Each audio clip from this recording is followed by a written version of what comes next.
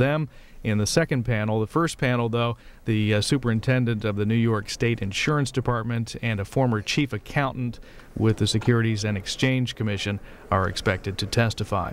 Again, the uh, hearing should be getting started shortly. Our live coverage here on C SPAN.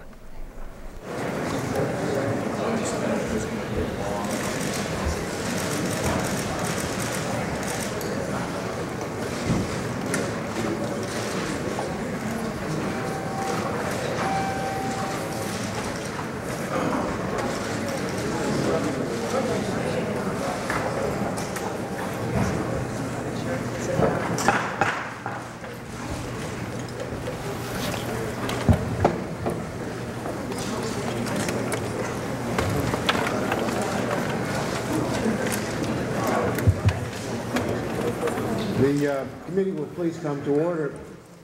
Today we're holding our second day of hearings on the financial crisis in Wall Street. Yesterday we examined the collapse of Lehman Brothers. Our focus today is AIG. There are obvious differences between Lehman and AIG. Lehman is an investment bank. AIG is an insurance company. Lehman fell because it placed highly leveraged bets in the subprime and real estate markets. AIG's problems originate in the complex derivatives called credit default swaps. But their stories are fundamentally the same. In each case, the companies and their executives grew rich by taking on excessive risk. In each case, the companies collapsed when these risks turned bad. And in each case, their executives are walking away with millions of dollars while taxpayers are stuck with billions of dollars in costs. The AIG CEOs are like the Lehman CEO in one other respect. In each case, they refuse to accept any blame for what happened to their companies. In preparation for this hearing, the committee has received tens of thousands of pages of documents from AIG. Our review of the documents raises three fundamental sets of questions. Answering these questions will be the focus of today's hearing. The first set of questions is whether AIG's executive compensation practices were fair and appropriate. AIG has a seniors partner plan that provides cash bonuses for its 70 executives. These are the top 70 executives. This plan is supposed to be performance-based. In 2005, AIG's CEO, Martin Sullivan, received $2.7 million under this plan. In 2006, his first full year as CEO, he received $5.7 million under the plan. These payments are not in question. Both years were good years for AIG and as CEO, Mr. Sullivan naturally was well rewarded. 2007 is a completely different story. AIG lost over $5 billion in the final quarter of 2007 due to losses attributable, attributable to its financial products division called AIGFP. Under the terms of the Senior Partners Plan, Mr. Sullivan and the other top executives should have had their bonuses slashed due to poor performance. But when the Compensation Committee met on March 11, 2008, the award bonuses for 2007, Mr. Sullivan urged the committee to ignore the losses from the Financial Products Division in calculating his bonus and the bonuses of the top, other top executives. We, we obtained a copy of the minutes from that meeting, and here's what they say. Mr. Sullivan next presented management's recommendation with respect to the uh, earnout for the senior partners plan, suggesting that the AIGFP unrealized market valuation losses be excluded from the calculation. The board approved this change in the senior partners plan, ignored the losses from the financial products division, and gave Mr. Sullivan a cash bonus of over $5 million. Today we'll ask what could possibly justify this change in the compensation formula. There are other compensation questions we will also ask. In March, the Board approved a new compensation contract for Mr. Sullivan that gave him a golden parachute worth $15 million. We'll ask why that was in the interests of the shareholders. And we'll ask about the compensation of Joseph Cassano, who was the executive in charge of the Financial Products Division. Mr. Cassano was well compensated by AIG. He received more than $280 million over the last eight years. After his division imploded, AIG terminated him without cause in February and did not seek to recover any of Mr. Cassano's compensation. Instead, AIG allowed him to keep up to $34 million in unvested bonuses and put him on a $1 million a month retainer. Last month, the taxpayers bought out AIG in an $85 billion bailout. This was a direct result of the mistakes made by Mr. Cassano. Yet even today, he remains on the company payroll, receiving $1 million a month. The federal bailout occurred on September 16th. Less than one week later, AIG held a week-long retreat for company executives at the, at the exclusive St. Regis Resort in Monarch Beach, California. And uh, we have a photograph on display of that resort. Rooms at this resort can cost over $1,000 per night. Invoices provided to the committee show that AIG paid the resort over $440,000, including nearly $200,000 for rooms, over $150,000 for meals, and $23,000 in spa charges. Well, average Americans are suffering economically. They're losing their jobs, their homes, and their health insurance. Yet less than one week after the taxpayers rescued AIG, company executives could be found wining and dining at one of the most exclusive resorts in the nation. We'll ask whether any of this makes any sense. The second set of questions we'll ask is whether Mr. Sullivan and Robert Willumstad are right when they say they bear no responsibility for the collapse of AIG. Mr. Sullivan was CEO from March 2005 to June 2008. Mr. Willumstad was his successor. He joined the AIG board in January 2006 and served as chairman from November 2006 until he was named CEO in June 2008. According to their testimony, AIG failed because it was caught in a vicious cycle and hit by a global financial tsunami. Mr. Willumstad says, quote, I don't believe AIG could have done anything differently, end quote. The information we received paints a different picture.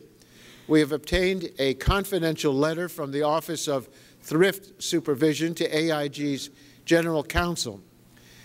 In this March 10, 2008 letter, the Office of Thrift Supervision writes, quote, we are concerned that the corporate oversight of AIG financial products lacks critical elements of independence, transparency, and granularity, end quote.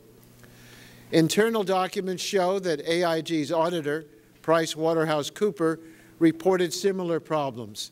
Minutes from a meeting of the board's audit committee in March 2008 revealed that the PricewaterhouseCooper told the committee that the root cause of AIG's problems was that risk control groups did not have appropriate access to the financial products division. As part of our investigation, the committee requested inf information from a former AIG auditor, Joseph St. Denis. Mr. St. Denis was a senior SEC enforcement official who was hired by AIG to address its ongoing accounting problems. But when he expressed concerns about how the Financial Products Division was valuing its liabilities, Mr. Cassano told him, I have deliberately excluded you from the valuation because I was concerned that you would pollute the process, end quote. Ultimately, Mr. St. Denis resigned in protest. As he explains, quote, Mr. Cassano took actions that I believe were intended to prevent me from performing the job duties for which I was hired. Unlike Mr. Cassano and Mr. Sullivan, Mr. St. Denis' actions cost him his bonus. There, are other questionable actions by Mr. Sullivan and Mr. Willumstad. As losses were mounting and resources were getting scarce, AIG depleted its capital by over $10 billion through stock buybacks and rising dividend payments. This prompted shareholders to write the board, quote, the management and board inexcusably and inexplicably raised the dividend while simultaneously issuing expensive preferred stock at a discount, end quote. And finally, we'll ask whether AIG, and in particular Mr. Sullivan, misled investors and the public about the financial conditions of the company. On December 5, 2007, Mr. Sullivan told investors, we are confident in our marks and the reasonableness of our valuation methods. We have a high degree of certainty in what we have booked to date, end quote. What Mr. Sullivan didn't tell investors was that on November 29th, one week earlier, Price Waterhouse Cooper had raised their concerns about Mr. Sullivan, informing him that PwC believed that AIG could have a material weakness relating to the risk management of these areas. There is one witness who should be here today, but who will be missing. Maurice Hank Greenberg, the longtime CEO of AIG. Mr. Greenberg blames Mr. Sullivan and Mr. Willumstad for the downfall of AIG. Many others think it is Mr. Greenberg who sowed the seeds that led to AIG's failure. Regrettably, Mr. Greenberg has told the committee that he is too ill to appear today to answer questions. There's a lot of ground for this committee to cover today, We will probe AIG's executive compensation arrangements, the leadership of its top officials, and the veracity of their public statements. Our goal is to examine the details of AIG's fall so that we can learn lessons about the reforms needed to restore stability to our financial markets. Like all of our witnesses, Mr. Sullivan and Mr. Willumstad know we will ask hard questions, I also want them and our other witnesses to know that we appreciate their cooperation and appearance before the committee today. Before yielding to uh, Mr. Shays, who will deliver the statement on behalf of the Republicans, I do want to announce that uh, the request that we've received to look at uh, Fannie Mae and uh, Freddie Mac, uh, which is uh, an investigation already underway, will, will be pursued uh, in conjunction with the minority on the committee, and we will uh, look at holding a hearing on uh, those two as well as the other hearings that we have scheduled.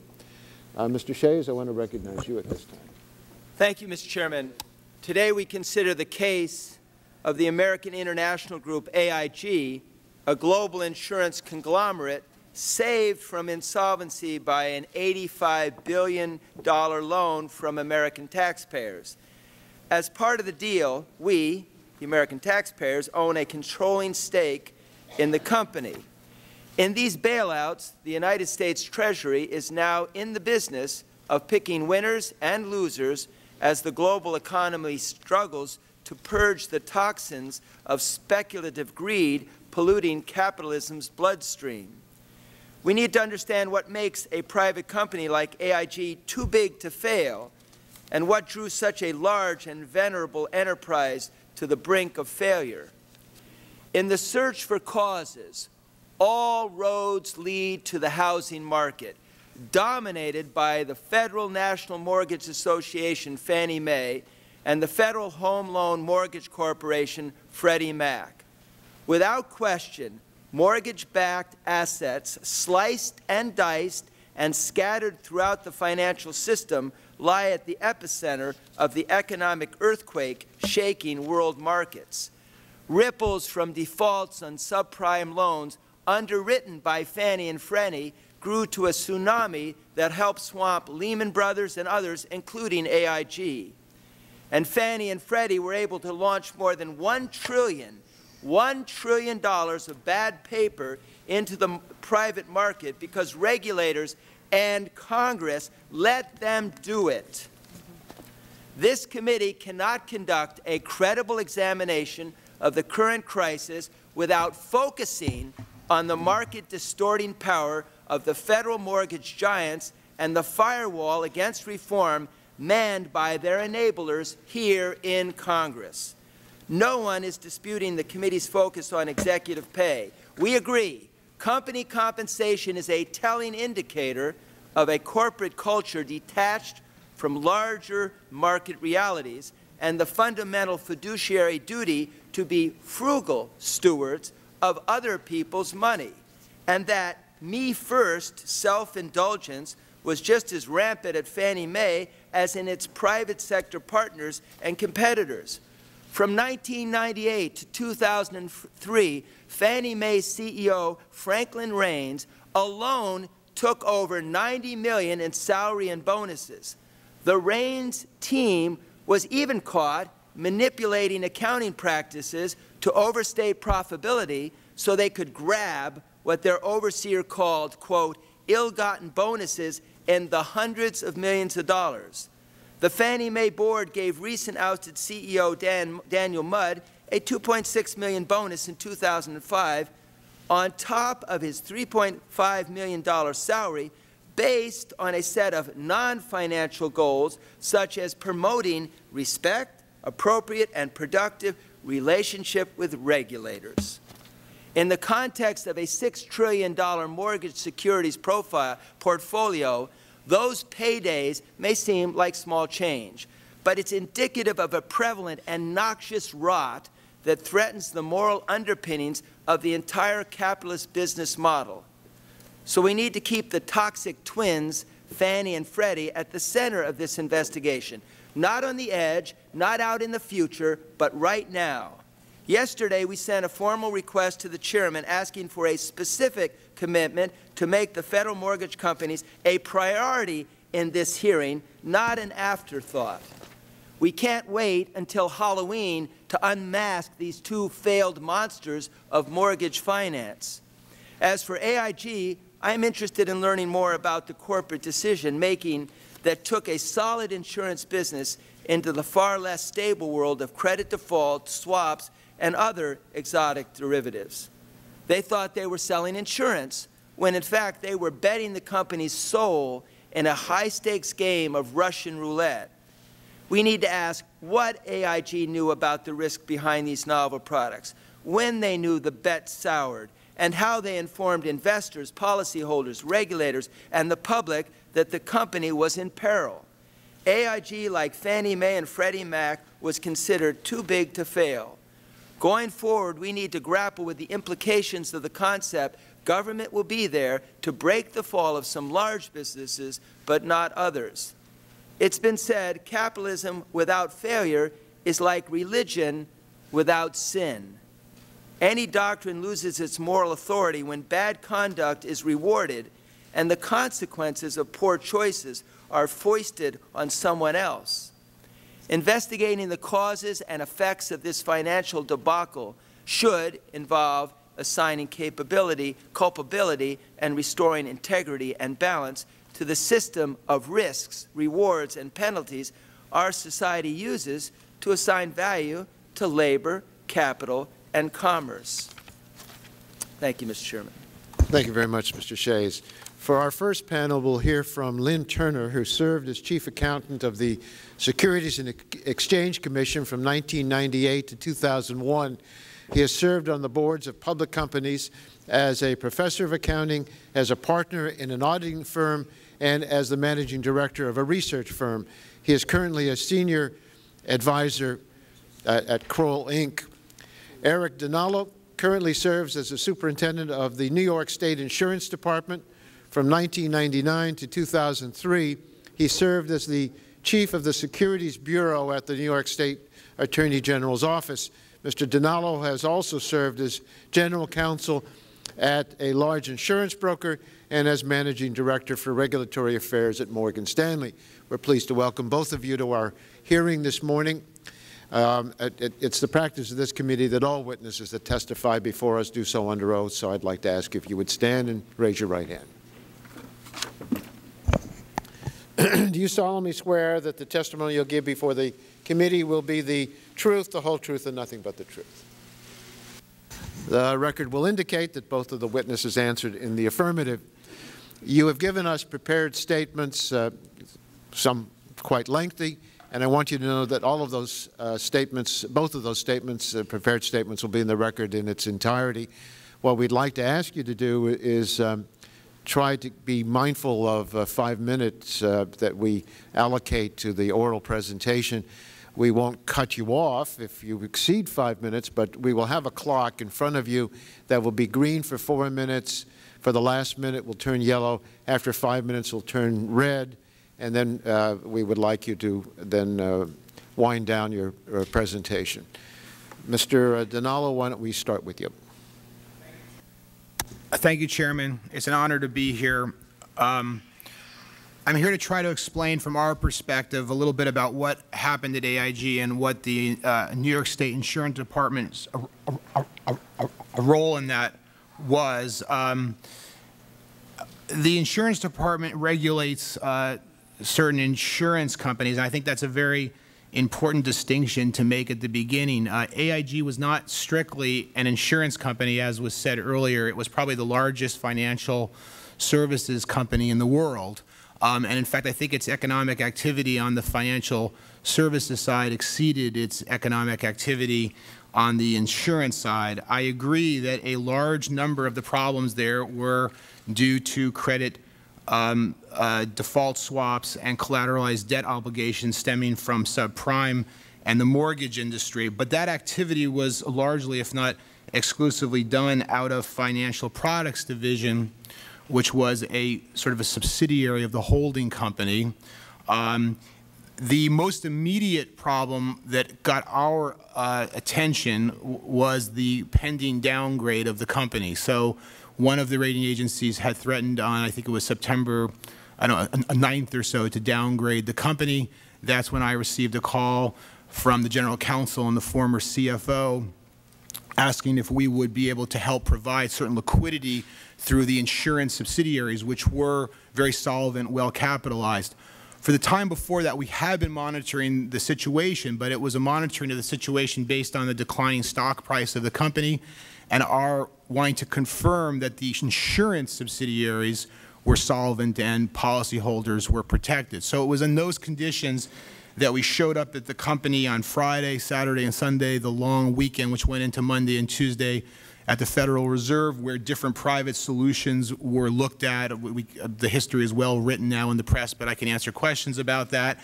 But the solvency uh, problem was fine. The liquidity problem kept on growing over the weekend, and the hole looked larger and larger. And whatever we could have done through New York State, uh, which the governor um, of New York, David Paterson, had authorized us to try to help do, became um, not uh, um, enough. And we ended up with a larger and larger liquidity holder problem um, we were there to validate the concerns of the company, which were true. We were also there, I think, um, to validate for the Federal Reserve that there was real solvency and capital in the insurance companies, which was what the bedrock of the transaction was. In other words, the 85 billion could not have been loaned if there was not any hope of getting the money back, and to a large extent, whatever returns they're going to be are because of the um, uh, um, um, robustness of the insurance company. To a large extent, I agree. I think that AIG got well away from its core competency of insurance. It went into very complex instruments called credit default swaps, which I can explain some of the basics as I've been asked. Um, but overall, the state regulation of it, I think, worked quite well. Uh, it is a lesson for us to talk about, I hope, about what is the right way to regulate um, holding company undertakings. Um, there were 71 U.S. insurance companies. Um, as I said, without them, there would not um, have been a, a bailout. But to an almost exclusive extent, the problem was caused by activities conducted out of financial products. Those activities were largely through the writing of credit default swaps. There are um, a legitimate need for hedging of risk, which was the beginning of credit default swaps, probably in the 1980s. Um, it's where you own a bond, let's just say, and you own Ford bonds, and you want to um, hedge your risk that Ford is going to default on those bonds. So you go to a third party and you ask them to essentially insure you against that default. That's the swap. That's the part of the swap. You're swapping the risk of the default with a third party. Um, that is called hedging also, and it is often also called insurance in the sense you're buying insurance against the default of the bond. But I think that the, that the committee should know that that is now only about 10% or so of credit default swaps that are outstanding in the world. There are probably over $60 trillion of credit default swaps. A overwhelmingly high percentage are what um, I uh, termed a couple months ago naked credit default swaps. What that means is you enter into a contract with a party, neither of you own any exposure to Ford. You're just taking a bet. You're taking a gamble on whether Ford is going to default or enter into bankruptcy or not. It's a form of shorting. It's the way we short the credit worthiness of our industries. It is far larger than the equity shorting, and you've heard about naked shorting in the equities market and how Chairman Cox um, asked to have that prohibited and did. It's interesting that on the bond side, on, on the uh, creditworthiness side, we've permitted this to run completely unchecked to the point that it is larger than the entire economic output of the world annually. That's where we are on credit default swaps, and the governor has said that he's willing to regulate the piece that we can, which is the insurance piece. That original 10 percent, we can easily call an insurance product. We can regulate that because it is an insurance transaction. As I described, you own the bonds, you have exposure. You're not going to the track and placing a bet, and that's when you get your exposure. And we can do um, that, and the governor has announced that as of January 1st, if there's not a more holistic solution through a central counterparty clearing or um, an exchange or some kind of clearinghouse, that the governor um, and the insurance department um, is willing to do that to help sort of clarify uh, what Chairman Cox called uh, the regulatory black hole of, um, of credit default swaps. I will note, just because I'm in front of Congress, and maybe this is helpful, that it required the Commodity Futures Modernization Act of 2000, which I believe was a statute passed by Congress, to um, exempt credit default swaps, the naked kind that I described, from being subject to the gaming laws of the various states and the, what are called the bucket shop laws. That's a very, it's kind of funny, but it, it is kind of funny. There, I can read to you um, that there's a law that's directly on point that prohibits um, that kind of activity, entering into this agreement without any exposure to the reference, and it required the CFMA to say that's not gambling. Um, and likewise, as Chairman Cox pointed out, it also was required that it be not a security, otherwise it would have been regulated by the SEC. So the CFMA both in one fell swoop said uh, CDSs are not a security and they're also not subject to the gaming laws of the land. And I think when, um, when you talk about moral hazard and the way they got it right in the 20s, which is the law that I'm referencing, was in 1907, um, they probably understood some things then that we sort of forgot along the way, and now we're 63 trillion um, to the worse. Later on, I can read you if you'd like, but um, it's pretty well established, and I think it's something that we should at least examine along with whether um, Glass-Steagall was such a mistake or not, and other ways that we sort of protect our depository institutions like insurance companies and commercial banks from attendant activities at the holding company level. Thank you very much. Thank you, Mr. Dinallo. Mr. Turner? Thank you, uh, Chairman uh, Waxman, committee members. Uh, I think this is a very important hearing in light of the fact that we're watching millions of Americans uh, lose their jobs. Um, they've lost their homes, and now as we watch the stock market come down, they're also losing their savings. Much of this is destruction and devastation, I think, that could have and quite frankly should have been avoided but in the words of the Could you pull the mic a little closer to you? And there is a button on the base. I, I think yeah, it's on. It's on. Is okay. that better? Yes. I'm sorry. But in the words of the philosopher George Santayana, those who cannot remember the past are condemned to repeat it, and certainly we fall in that category today. AIG serves as a reminder and unfortunate but excellent example of what is wrong with our financial system today. While there are many capital participants that have operated within sound business, ethical, and legal boundaries, there have been far too many that have not. We began the decade with the mess around names such as Enron uh, WorldCom, followed by the uh, uh, Wall Street analyst scandal, then on to mutual fund late trading and market timing, then the stock option backdating at such companies as United Health, and now we find ourselves in the midst of uh, the biggest and by far away the most destructive of all the subprime fiasco. Uh, this is a crisis that could have, and in my opinion, uh, should have been averted before it cost American taxpayers what appears to be may um, be in excess of a trillion dollars before we're all said and done with it. And certainly there's plenty of blame to go uh, around. Uh, all of us, uh, I think, probably sharing that to some degree. But I hope the focus of Congress and this committee will be on a bipartisan basis, uh, holding hearings that, much like an investigation occurs when a plane crash goes down, determines what went wrong and then promptly turns around and, and fixes it so we don't repeat history. From my perspective, some of the causes of this economic crisis include executives and mortgage brokers engaging in unsound, if not illegal, business practices, compensation and incentives resulting in some business executives being paid both coming and going as they walked away from the equivalent of quite, uh, quite frankly, a train wreck with huge severance packages that their corporate boards actually agreed to. Accounting standard setters who failed to provide the markets with the necessary transparency, woefully inadequate due diligence by investment banks underwriting the securities, cheap debt uh, set up by our uh, monetary policy uh, people that created low interest rates and led to tremendous leverage and debt in this country. As Eric mentioned, a $62 trillion unregulated uh, credit derivative market which had absolutely no transparency whatsoever. Uh, the SEC being handcuffed by a lack of resources, lack of regulatory authority, and changes in policy that no doubt have hampered enforcement, the lack of a regulator that could regulate at the holding company level for national and global insurance companies, and the failure of the Federal Reserve and banking regulators whose exams failed to identify and rectify unsound lending practices at institutions such as IndyMac, WAMU, Countrywide, and Citigroup.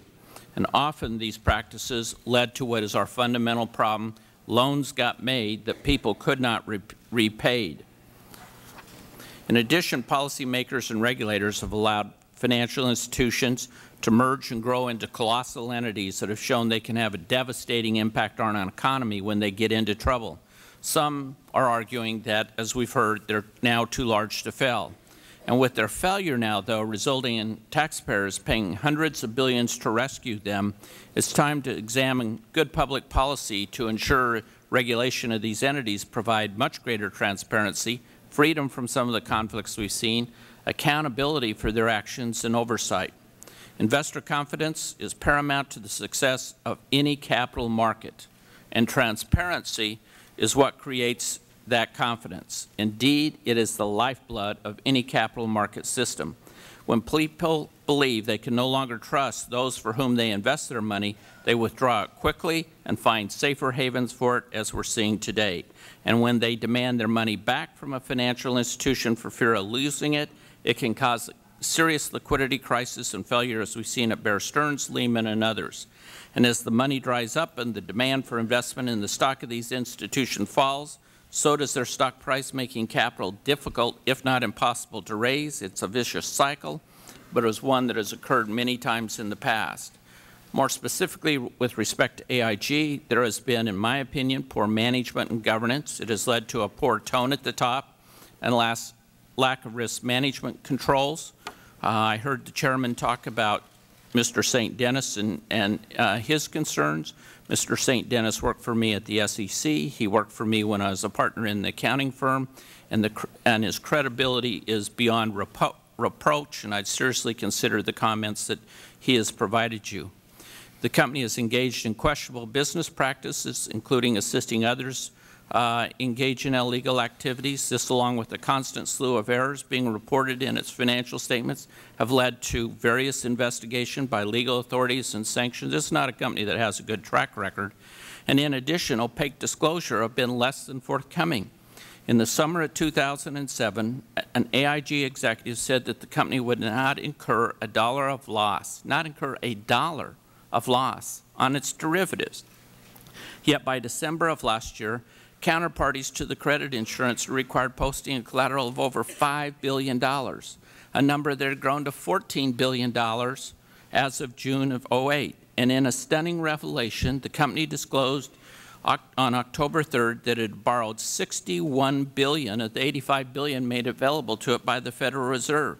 The rapid changing disclosures on this from zero to 61 billion in less than 12 months is phenomenal and investors certainly have to be raising did we get this question of did we get the straight scoop uh, back a year ago.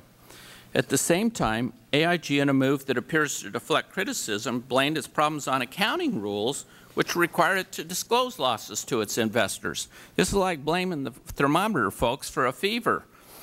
As we saw with the savings and loan crisis, and as the GAO, Congress's own watchdog, has reported at the time, the ability of financial institutions to reporting uh, to avoid reporting declines in the value of assets contributes to unsound business practices and large losses for the government who has to step in with a bailout. Again, we should not forget the past and repeat these costly mistakes. Thank you, Mr. Chairman. Thank you very much, Mr. Turner. We'll now uh, recognize members for five minutes each to uh, ask uh, the two of you questions, and I want to recognize uh, Ms. Maloney first. Th thank you, Mr. Chairman, and I'd like to welcome our panelists uh, and thank them for their public service, particularly Mr. Dinallo from New York State. Uh, thank you and the Governor for your creative response to the AIG crisis. Last night and this morning, I have been criticized by some pundits for my line of questioning on deregulation. Uh, some of them called it partisan. I, I just want to begin by saying that uh, our financial crisis is not a partisan issue. I truly do believe that every Republican, Democrat, Independent, Conservative, uh, Liberal are dedicated to working towards a solution and I believe the members of Congress want to find a solution. I am going to ask questions on deregulation and the relationship to the problems we confront, but I want to preface it by saying I am not being partisan. I am not criticizing anyone or any act or any particular thing. I'm just trying to understand uh, more about it. And so with that being said, I'd like to ask Mr. Dinallo a few questions about the lack of regulation around uh, credit default swaps, which seem to be at the center of AIG's downfall. Credit default swaps are basically insurance contracts to protect against defaults on bonds and loans. It's an enormous market. Since 2000, it has exploded from 900 billion to 58 trillion dollars. That's roughly twice the size of the entire United States stock market. It is also bigger, I understand, than the annual output of the entire world economy for one year. And yet, incredibly, the market uh, for credit default swaps is entirely unregulated. Although they operate like an insurance uh, contracts, parties selling these guarantees are not required to have capital reserves to protect the other party. And I would first like to ask, because they are so huge, 58 trillion, if there is no value behind them, as some economists allege, uh, do they, could they bring down our entire economy? well, uh, I guess we're going to find out. Um, it, I hope not, but I will say that the distinction between credit default swaps and insurance policies is when you write insurance policy, you're required to have a certain amount of solvency and capital behind that commitment. For a large, large, large percentage of credit default swaps, you're required to have absolutely no collateral or capital behind them. I, I do agree that it is interesting to note that, as um, uh, Lynn said, it is, it is not you know, insider trading or late trading or the analyst cases or um, lax regulation or firm regulation or hard enforcement or soft enforcement that brought down the global economy, I think it's politically neutral to observe it's what we chose not to regulate. And I don't think that's actually very partisan at all. I think we, as a country in 2000, made certain choices uh, uh, along Gramm Leach Bliley and uh, the uh, CFMA to permit this kind of activity as being a way to, ironically, to hedge risk. This is the ironic part. CDSs were meant to hedge risk, but they multiplied risk incredibly, in part because now only about 10 percent of what you've described is actually an insurance policy kind of transaction. The rest is really just a bet about the future of a company's creditworthiness. So are these uh, products just gambling, as Well, the mentioned? governor called them gambling. Um, We had I the think if it weren't, if it, and we, we banned it in New York State. I think the reason And that the the commodities law usurped our position, and do you think that that should we be did changed? we did ban it in 1909 after the crash of 1907. We banned this kind of activity that used to be done in bucket shops where they would just take bets on the market, bucket the trades. And yes, um, that is what we did, It- and it required this. And no lawyer, no good lawyer, could convince a client that a naked credit default swap was not also possibly prosecutable as gaming. So the CFMA, uh, appropriately, because we do need some kind of futures market, there is a role here, but it completely exempted them, and the results are in part what you see today, which is not necessarily all about credit default swaps, as Lynn said, but also just the opacity. Do you? One of the important points I think is when we were working through the bond insurers, AMBAC and MBIA, and all the work we did on those, a- a- as you know, and on AIG. No one, including ISDA, could tell you how much credit default swaps were written on those entities as reference points. So if AIG had failed, So- no one knew how much CDS was written on AIG. Well, mm-hmm. My time has expired. Yes, thank you. Thank you, Ms. Maloney. Mr. Mica. Thank you. Um, First of all, let me say that uh, I'm pleased that uh, we may be looking at uh, Fannie Mae and some of uh, uh, its responsibility in uh, fomenting the financial crisis and and mess that we see right now. Um, I'm disappointed, though, that we didn't start with some of the culprits, and uh, we should actually have uh, reviewed some of uh, what took place with the federal-backed agency that uh, helped, again, uh, get us started down this wrong path. Uh, Yesterday and today, we're sort of splashing around in uh, the waiting pool, and um, we really need to be looking at the cesspool. Uh, We're talking today about AIG, a private firm, uh, now with government backing, but it was a private firm. And yesterday about Lehman Brothers, a private investment uh, firm, uh, and uh, their compensation, they're running away with uh, millions of dollars of investor dollars, and we're ignoring the core perpetrator of all this, Fannie Mae, uh, whose exec executives ran away with, uh, with tens of million dollars in public-backed uh, bonuses, uh, public-backed activities.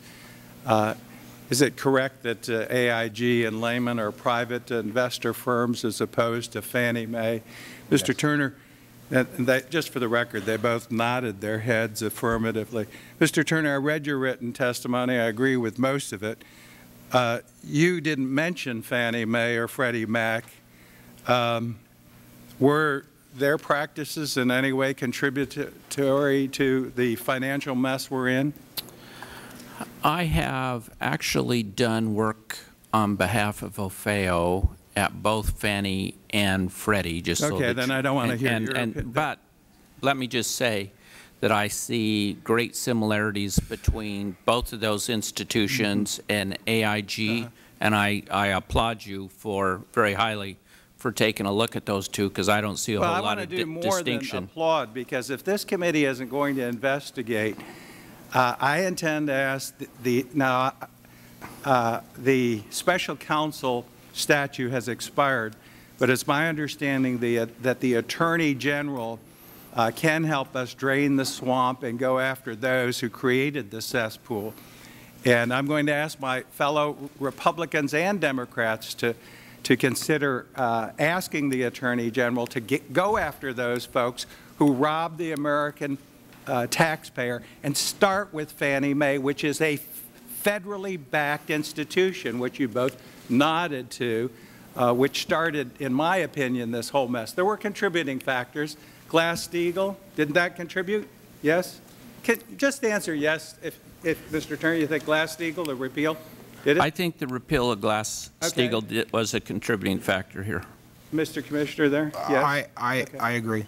Okay, and you, now, one of the interesting things, too, is New York uh, did, in most cases, the states were pretty good regulators of insurance. Is that correct? Thank you. Yes, I think the record have. would, I think the record would support And the that. default swap got, is, is really out of your purview, but even regulation of Fannie Mae and what they were doing and, and uh, some of the activities that took place with government-sponsored uh, financial enterprises. Uh, 2002, uh, Mr. Shays and I introduced uh, a a law that would have brought uh, this activity under the SEC. That would have helped regulate it. 2004, it was, was introduced and passed, actually, I think in 2005 by the, the House and blocked in the Senate. Is that right? Would, would that, have you, did you It it was actually, was Congressman Frank, much to his credit, did introduce legislation that got passed in the House over here, and I applaud But it all was the House. blocked in the Senate. But it was not passed in the Senate, and that was greatly unfortunate. Yes, and I voted against it. Uh, Now, Glass-Steagall, uh, Mr.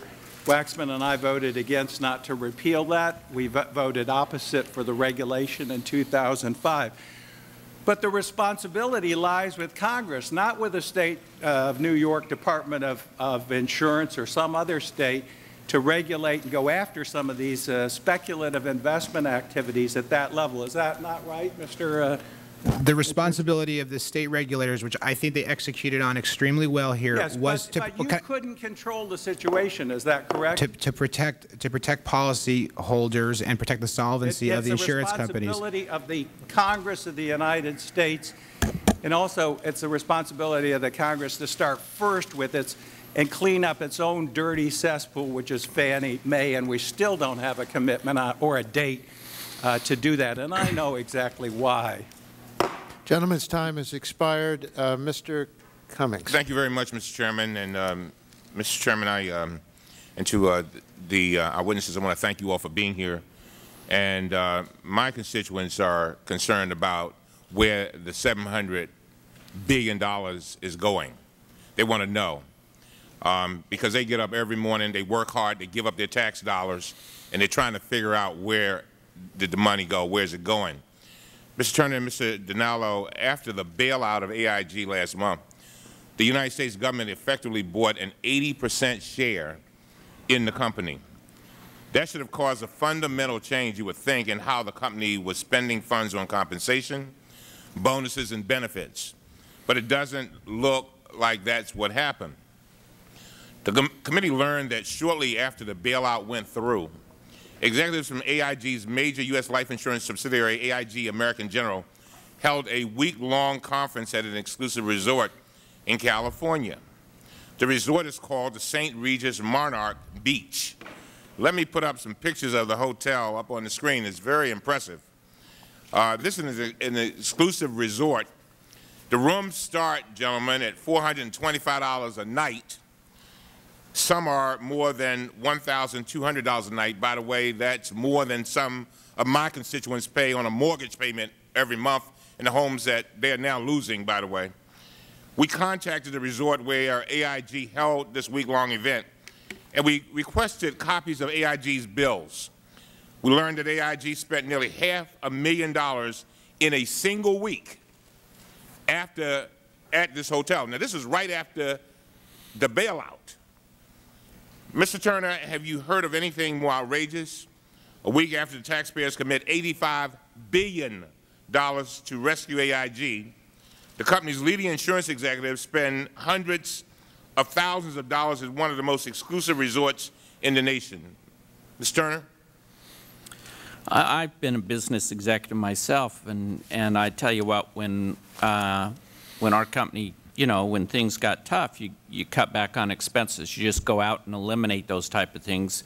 I'm, I'm sure they had the issue, they were probably already committed to it, and we're going to have to spend it one way or another. But nonetheless, I remember we, uh, as a business executive, uh, VP and CFO of a company, we would actually go out and cancel those conferences because we just didn't want to send a message to the employees that, that we're spending on this type of thing and we need to cut back expenses. So, um, uh, And if- in and if a company- bailout. And uh, if a company is drowning, then you're going to go and spend that kind of money? It's crazy, and I, I agree with you. Yeah. Let me describe uh, for some of you the charges that the, the shareholders who are now U.S. taxpayers had to pay.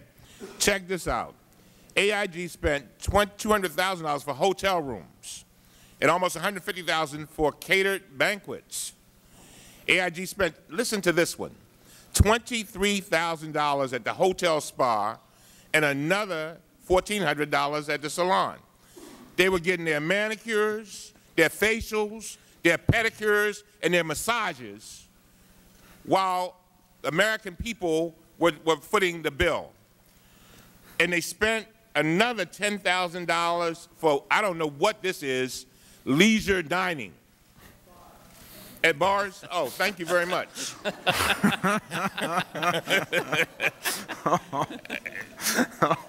Mr. Dinallo, let me ask you, uh, not as the insurance commissioner, but as a taxpayer, does this look right to you?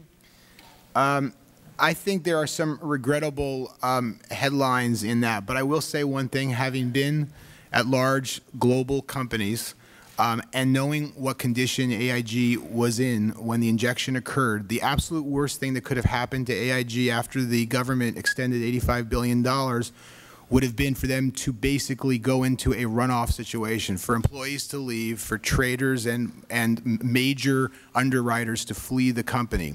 So if there was a thinking that they needed to bring everybody together in order to keep the productivity of the insurance companies intact and protect policyholders by keeping them from going into a runoff status, I do agree there is some profligate spending there, but the concept of bringing all the major employees together, let me just, to, to ensure that the 85 billion could be as greatly as possible paid back would have been not a crazy corporate decision. Well, I would tend to disagree with you when it comes to pedicures, facials, manicures. I- the American people I agree. are paying for that. I agree. I'm just and they're to. very upset. I, I, I said there are regrettable and wrong headlines in that, but the uh, but the idea of, of making sure that you can get the game plan back on track so you can pay off the loan is not a, a, a an, an irrational Expensive one. way to get the game plan, plan back on track. I, I, I agree. Gentleman's time has expired. Mr. Bilbray. Thank you, Mr. Chairman. And Mr. Chairman, let me say personally, thank you very much for committing to uh, do a hearing on the Freddie and Fannie. I appreciate you doing that. I hope we can get that date. Um, I think that, as Mr. Turner, I appreciate your frankness of saying, even though I'm not talking about it, we need to go back and look, uh, concentrate on Freddie and Fannie. I appreciate, Mr. Chairman, your your ability to respond to that that reality. Um, and in fact, Mr. Chairman, I would I would almost say that we may be sitting in a situation that now that Freddie and Fannie has become public agencies, that we may want to talk to the Attorney General about the possibility of a special prosecutor to go in and take a look at that as one of the public agencies. And I think that's important to show the American people we really are serious at getting to correcting some of these problems and really doing it based on um, an in-depth um, um, study of the problem. Uh, let me let me sort of backtrack. This issue of the uh, the credit swaps. It seems like there are two. There's a balancing line here, where it is an insurance hedge, and then they move into a gambling. Now, the preemption that the feds put in to say it is not gambling totally. Wouldn't you agree that maybe we got to go back and revisit that and try to develop a, a bright line between what is gambling and the states can intervene on, as opposed to what is insurance and states can't intervene in? Uh, yes, what I would have done is I would have said that each one of those activities had to get some kind of an exemption activity by activity. So there is a good argument that sort of in crop insurance and you need futures to protect yourself against crop failure, et cetera. There are lots of hedging activities that are kind of on the border. You do not, you don't maybe absolutely own the security or the bond, but you do have exposure.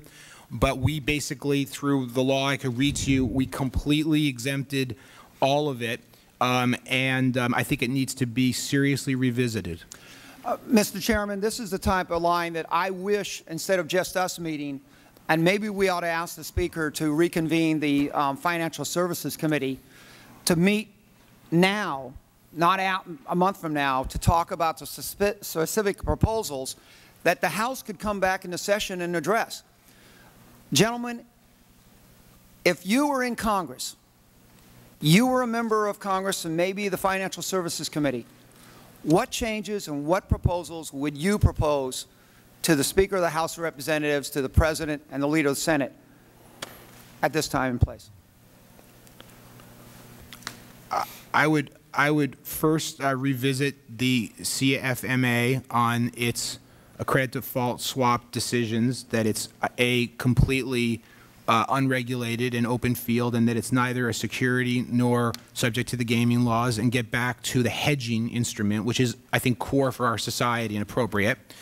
I would take a serious look at uh, uh, Gramm Leach Bliley and decide whether the supermarket of financial services is worth it when sometimes um, things really uh, smell on aisle six and infect the rest of what we view as kind of sacred uh, stuff, which is depository money, whether it's insurance policy proceeds or banking, commercial banking deposits, there needs to be a greater clarity about how the holding company activities, which here did not bring down the insurance companies but did ding them from a franchise value greatly, can harm those two depository type institution activities and whether it's always good to just let them willy-nilly be together under a holding company type umbrella. Congressman Bilbray, you actually raise a, a very good question.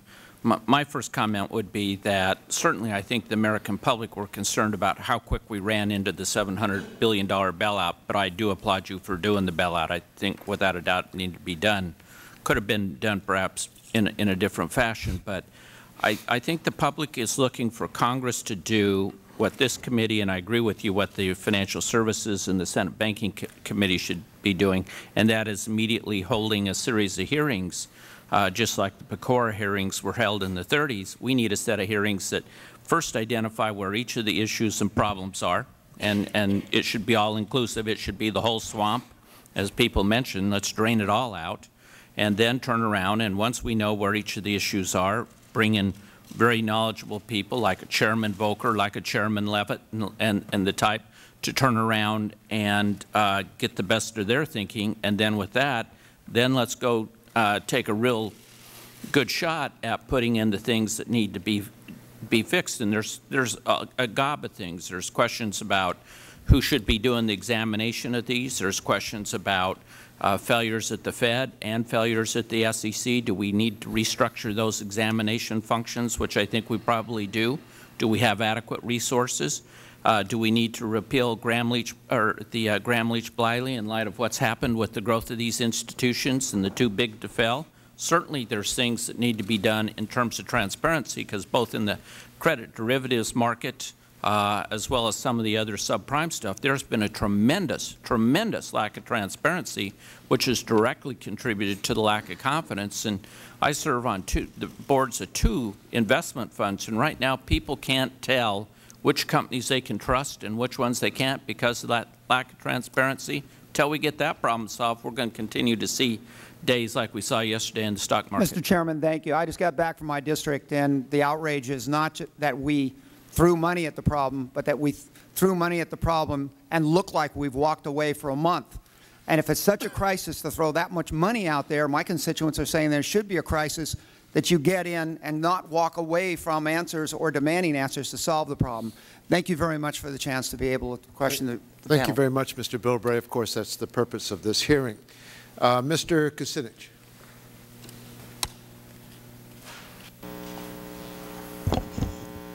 Thank you very, uh, thank you very much, Mr. Chairman. Uh, to uh, Mr. Dinallo, Treasury Secretary Paulson is the former CEO of Goldman Sachs. Uh, Mr. Paulson, of course, was involved in helping to save AIG, and Goldman Sachs is AIG's largest trading partner. News reports say that Goldman Sachs had at least $20 billion at stake uh, in AIG. Uh, now, uh, you, sir, it said, were uh, involved in negotiations to rescue AIG. Uh, was the CEO of Goldman Sachs, Lloyd Blankfein, and other Goldman Sachs executives present at meetings to save AIG? Yes. Could, could you speak into the mic? Yes. Was uh, Secretary Paulson at any of those meetings? N none that I was present at. Uh, do you have any knowledge that Secretary Paulson was present at any meetings relating to uh, saving uh, AIG? I, I, can't. I'm not trying to avoid the answer. I just had no personal knowledge of that. Do you have knowledge that he was the former CEO of Goldman oh, Sachs? Oh, oh, absolutely. Oh, I can talk to you. Oh, I'm happy to talk to you about this. I just you're you're, you're asking me yes or no questions. And I'm and I'm finding did, it hard to. Be, before the bailout, did uh, Secretary Paulson or other federal officials raised concerns about the impact that the AIG collapse would have on Goldman Sachs? Yes, but not only Goldman Sachs. In, in fact, if I, if I may, I'll just tell you that I, I, I admire um, Tim Geithner, the President of the Federal Reserve. He has taught me various techniques in working through some of these problems. One of them is he I'm believes. not really asking you well, let me, well, let me, well, Geithner, well, so I, well, I well, I just want to finish. Uh, please, sir. I'll just. But, I, but you're I, on my promise. time, and you, I want you to answer my questions. But now, my question is, the, the head of global commerce Yes. for Lehman sent an email on July 13, 2008, to Lehman's CEO, which said, and I quote from it, "It is very clear, GS, speaking of Goldman Sachs, is driving the bus with the hedge fund cabal and greatly influencing downside momentum, meaning that Goldman Sachs was working to intentionally drive down the price of Lehman stock. This was in mid-July. Two months later, Lehman went down with tremendous impact on the market and impact all over the world. But AIG was saved. Now, what I'm trying to find out, you know, if Lehman's uh, uh, death was uh, natural causes or murder. Now, we're told that Secretary Paulson, as a um, um, former CEO of Goldman Sachs, has brought in another former Goldman Sachs employee to manage the $700 billion bailout fund. Now, Mr. Dinallo, you are the superintendent of New York Insurance. You're Yes. a regulator. As a regulator, do you have any concerns that Mr. Paulson, as the former head of Goldman Sachs, uh, was and continues to be in a position of conflict of interest with respect to uh, being able to make decisions that would enhance the uh, position of Goldman Sachs uh, or uh, be able to uh, make decisions that would adversely affect those who might be in competition with Goldman Sachs. As a, as a regulator, do you have any of those concerns? I can't. I, I, I. From what I witnessed in the four days and five days that I was exposed to what I was exposed to, based on my personal knowledge, I don't have concerns. I can't personally attest to Secretary Paulson's management of whatever conflicts of interest. So your answer interest. is you don't know. Well, my answer is I, I don't. I don't feel I have the basis to answer the question asked. Okay, I, I- could. I- could give you reasons that I think. Chairman. AIG I'm was through with my treated differently than Lehman. Mr. I'd be Chairman? happy to do that. Thank you, Mr. Chairman. Gentleman yields back his time. Uh, The chair recognizes Mr. Souder. Thank you, Mr. Chairman.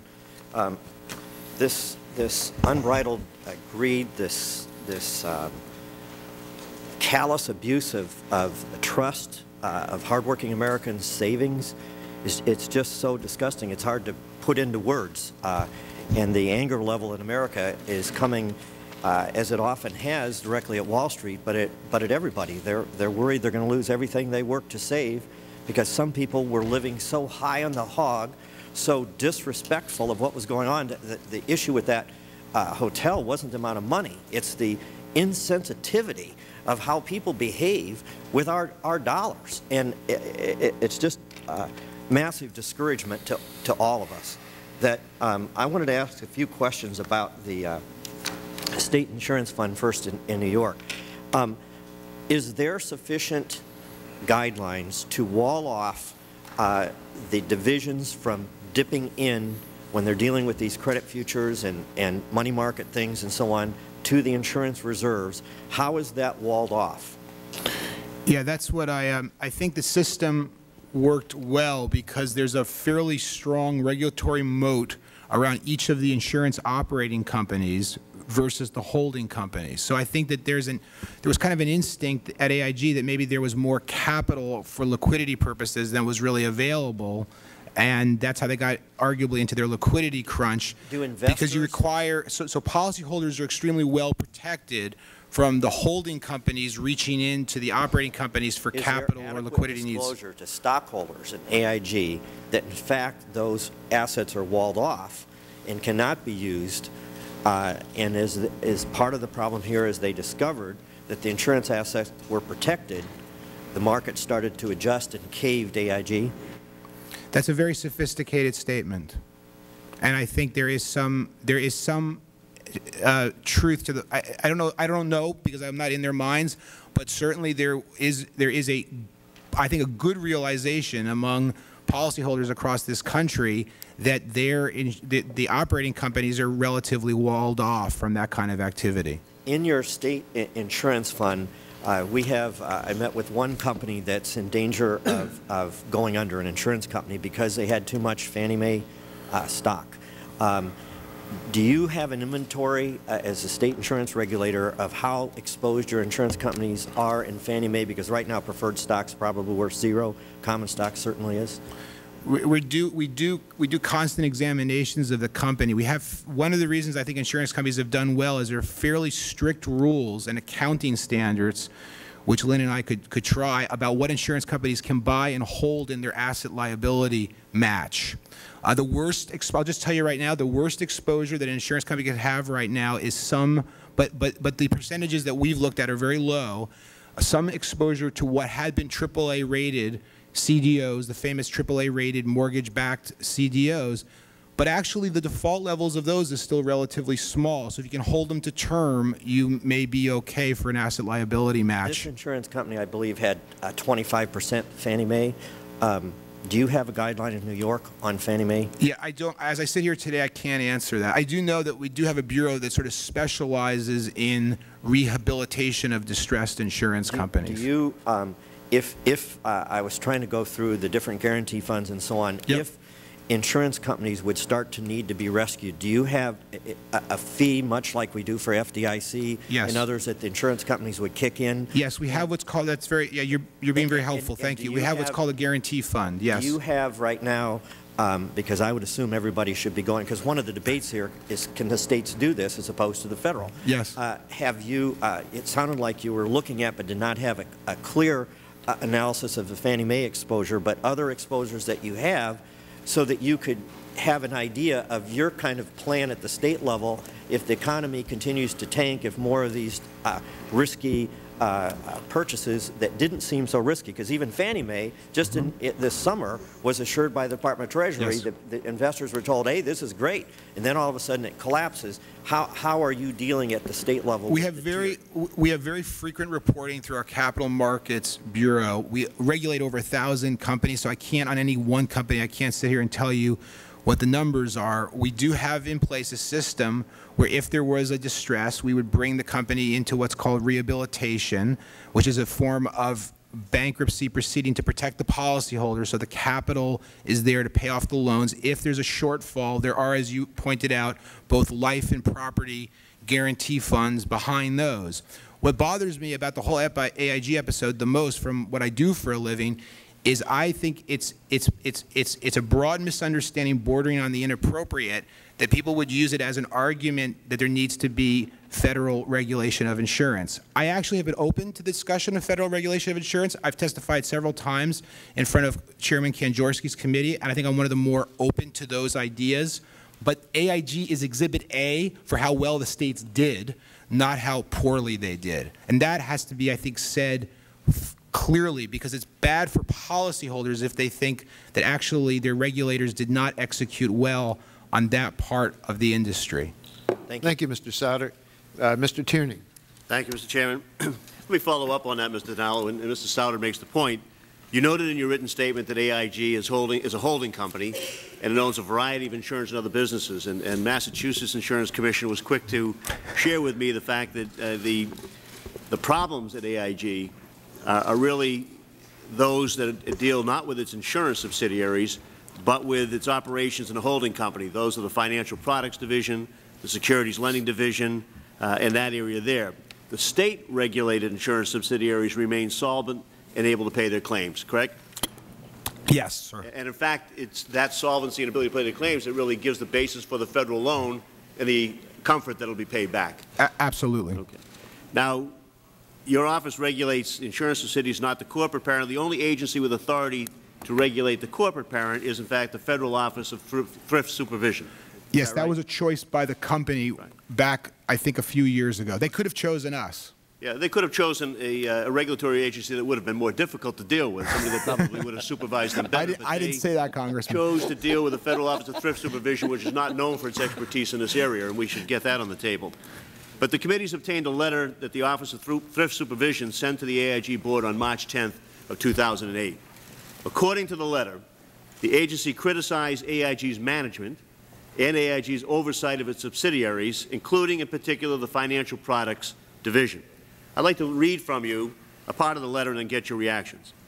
The letter says, we are concerned that risk metrics and financial reporting provided to corporate management by AIGFP and other key subsidiaries may lack the independence, transparency, and granularity needed to provide effective risk management oversight.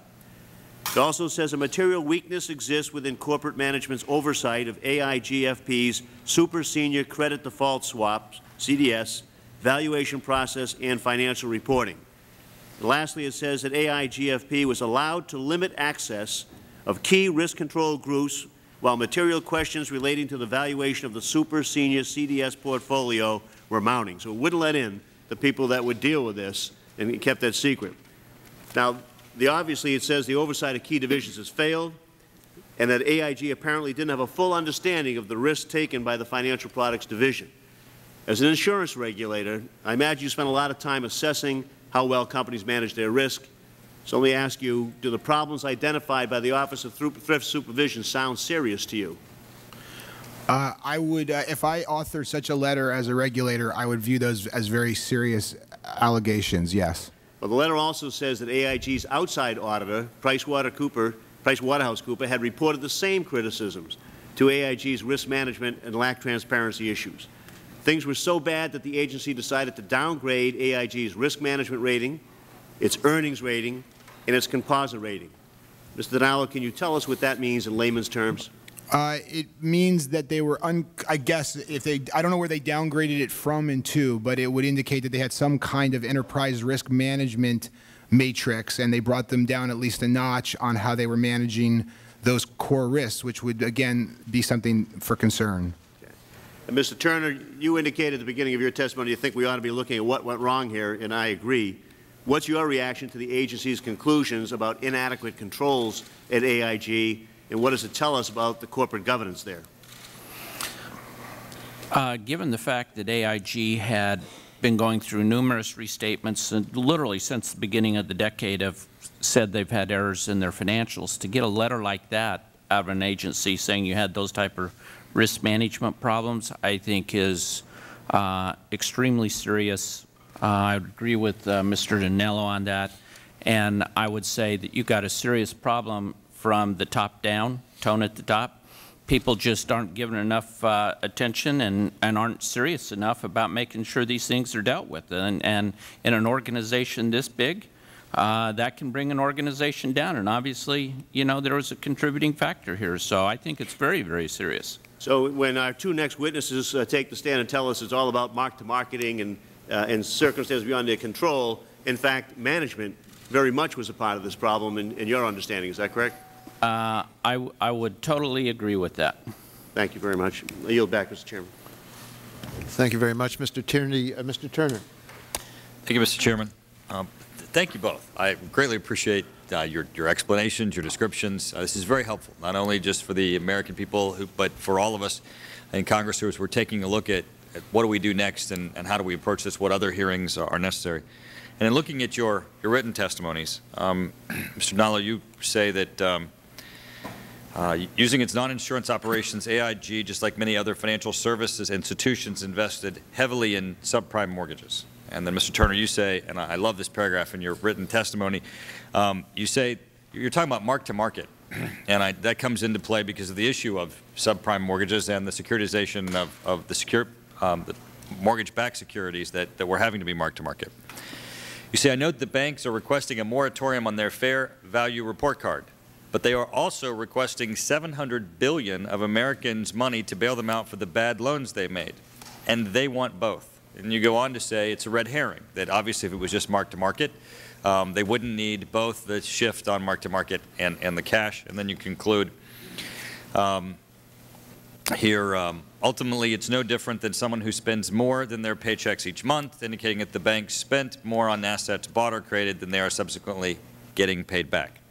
And that brings us back to the subprime mortgages. And that's why I think it is so important that we have additional hearings on Fannie and Freddie and the subprime uh, mortgage area. And I've got a question about that for you, and I, I want to tell you what the experience is in my community. Yesterday, when we had our um, hearing on Lehman Brothers, uh, we had a panel that spoke beforehand, and they said that this all comes from a period of easy credit, housing prices escalating and then declining, securitization of mortgages, people using their houses as ATMs, and, uh, of course, excessive CEO compensation was, was cited. In my community, subprime mortgage lending, predatory lending, has had a decimating impact on neighborhoods, families. So we're at the forefront of the foreclosure crisis. In 2001, our community held a hearing on predatory lending. Uh, City Commissioner Dean Lovelace uh, pushed for this. There was legislation uh, passed to try to deal with it that was ultimately um, knocked down. But the um, the community experiences about 5,000 foreclosures a year. Ohio, about 80,000 a year. Um, every three years, that's the size of an entire congressional district that that we see uh, being foreclosed. But the experience we found in those hearings and what's happening in Ohio is that many times these are loans where the, uh, the loan origination amount exceeded the value of the property. It's not mortgage values declining, although they are now, which is compounding the problem, but that there was systematic efforts to give people loans that were in excess of the value of their homes, many times capitalizing the fees, many times giving them terms that either had escalating uh, rates or, or, payments that got them into difficulty, and then also economic conditions causing them not being able to keep up, up with payments. Then having a house that has a greater mortgage than the value would result in abandonment and, and foreclosure. Um, many of the things that we hear about in this, uh, what we should do and, and what has happened, fall in the category of you know, bad business judgments or areas of regulation. But to me, loaning people a loan in greater than the value and then securitizing that and not disclosing that the loan, that there's a gap between the loan value and the, the value of the underlying asset should be, if it's not, a crime. And I believe that it is. And I think ultimately when we start looking at all these things, we're going to find that, that there were real crimes committed here that real people stole, and that had a big impact on our economy. Uh, what are your guys' thoughts on the subprime mortgage crisis that has brought this about? What are some of the things that we should be looking at, practices like this, that might lead us to uh, how do we stop these practices? Because in the bailout, Congress did not stop the practices that got us here. I, would amend one of my earlier answers. I was asked what are the things that I would have the Financial Services Committee look at working with you, and I said CDSs, and I said Gramm Leach Bliley. Uh, the third would be that there is only so much good risk in any community. And we have permitted through securitization underwriters to basically do a set of loans to their community and then re-up the tank for doing more loans an endless amount of times. So the first set of loans that were CDO, the first set of mortgages performed very well, and that banker probably said, you know, I, there's, a, a, there's at least twice as many loans that I would have made because I got great people in my community. I want them to own homes, but I had to make some tough decisions. And a banker on Wall Street securitized it, and the second set did really well, and those were made with proper underwriting due diligence decisions.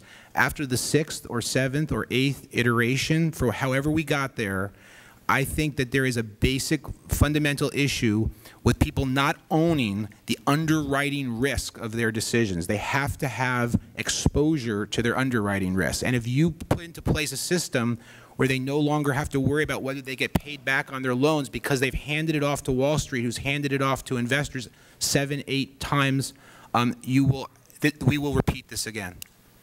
Mr.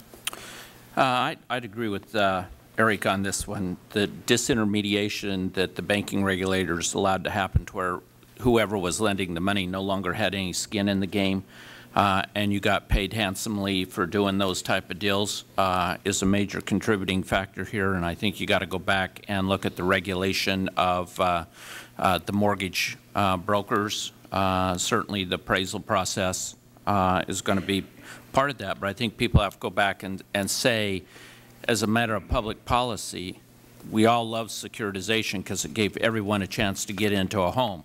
And no one was complaining about it when we gave everyone the chance to get into a home. But when we loaned up 100 percent on those values, and there were a lot of those home, I think there's something like 55 million of these, of which 10 or 12 to 13 million are now in foreclosure.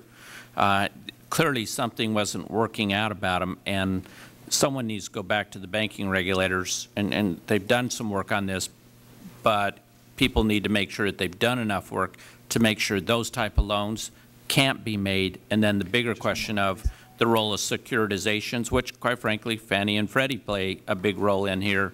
Uh, have we got to reexamine that policy and say, if there's securitizations, do we have enough safeguards? The underwriting that occurred on them was and due diligence by the investment bankers was atrocious, and that played a role as well.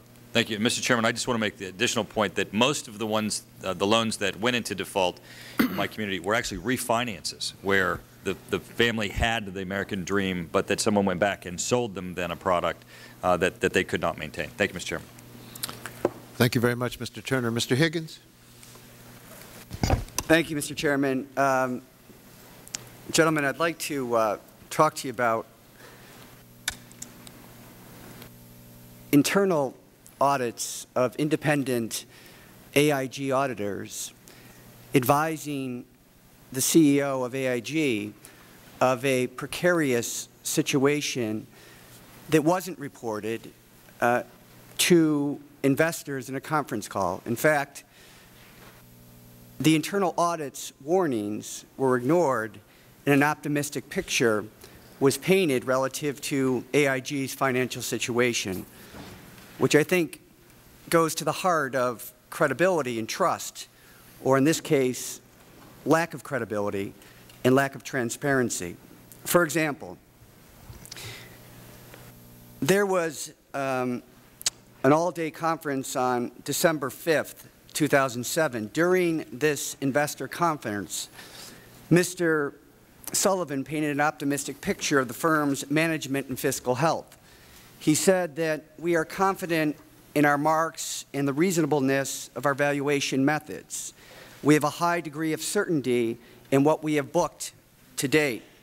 However, according to internal minutes from the Audit Committee meeting on January 15, 2008, AIG's independent auditor, PricewaterhouseCoopers, raised serious concerns before this investor meeting took place. At this meeting, auditors warned Mr. Sullivan personally back in November in preparation for the investor conference. Here is what the minutes said. Mr. Ryan, a PricewaterhouseCoopers auditor, reported in light of AIG's plans to hold an investor conference on December 5th, Pricewaterhouse Coopers had raised their concerns with Mr. Sullivan and with Mr. Bensinger, the chief fiscal officer, on November 29th, informing them that PricewaterhouseCoopers believed that AIG could have a material weakness relating to risk management in these areas. Mr. Ryan expressed concern that the access that the enterprise risk management and AIG senior fin finance officials have into certain business units such as AIG Financial Products Group, may require strengthening. At no point during the December 5, 2007 investor conference did Mr. Sullivan mention these warnings from the auditors. He never disclosed them. Mr. Turner, you used to be a senior official at the Securities and Exchange Commission. What do you think about Mr. Sullivan's failure to disclose the auditor's warnings to investors?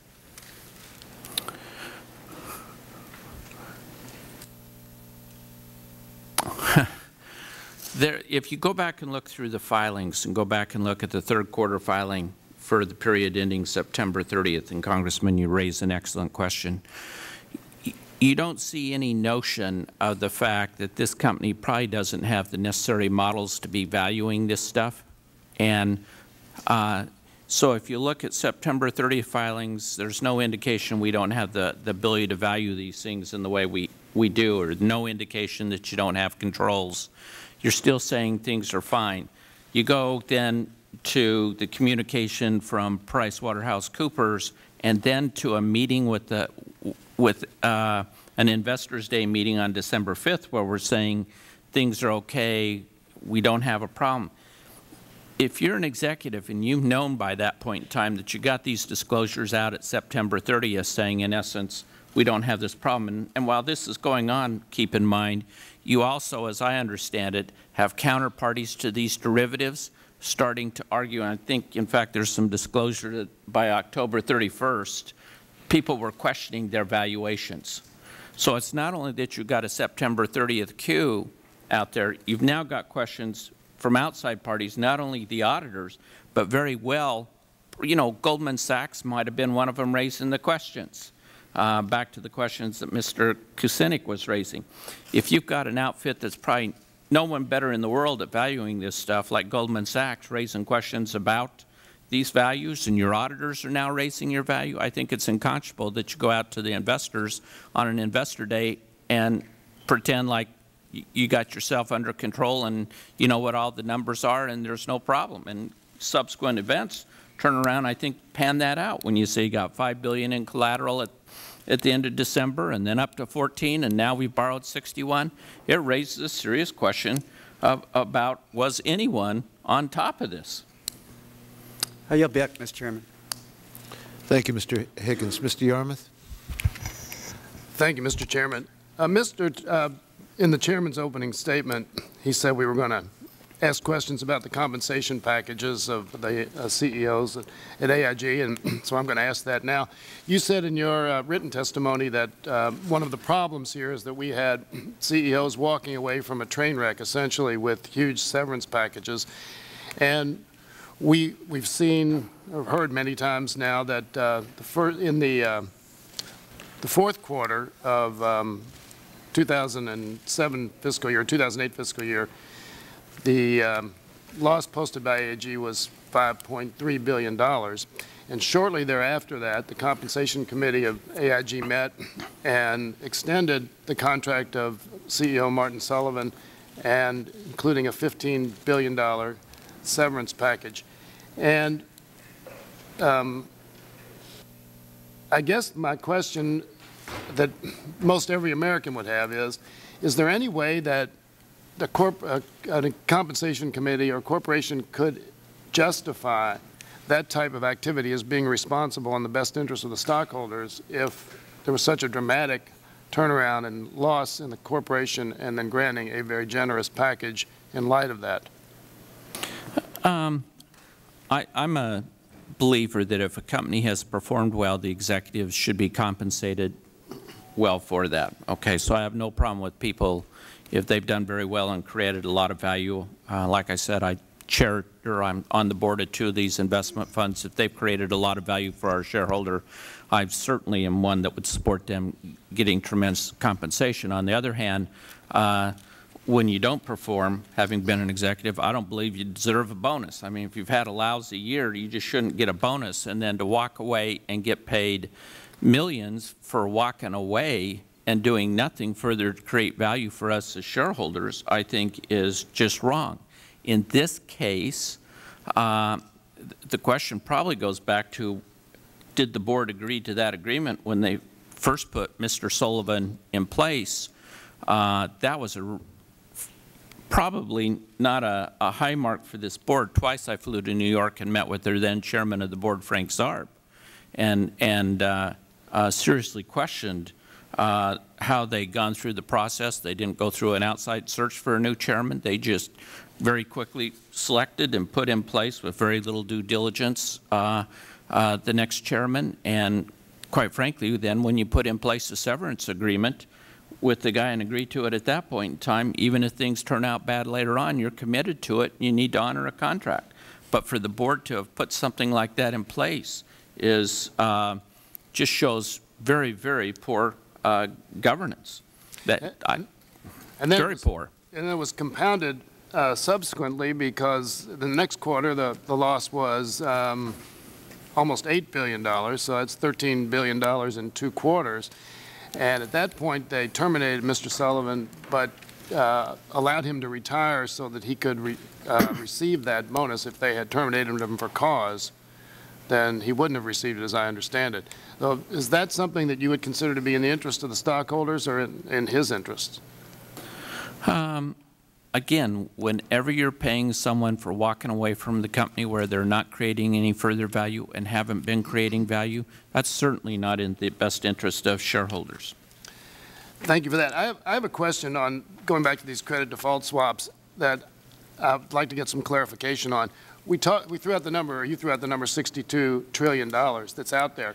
Who is that, is that $62 trillion a potential loss? Is it absolute obligation? Uh, is somebody going to have to pay $62 trillion at some point to somebody, or is that just a potential loss? And to whom is that owed?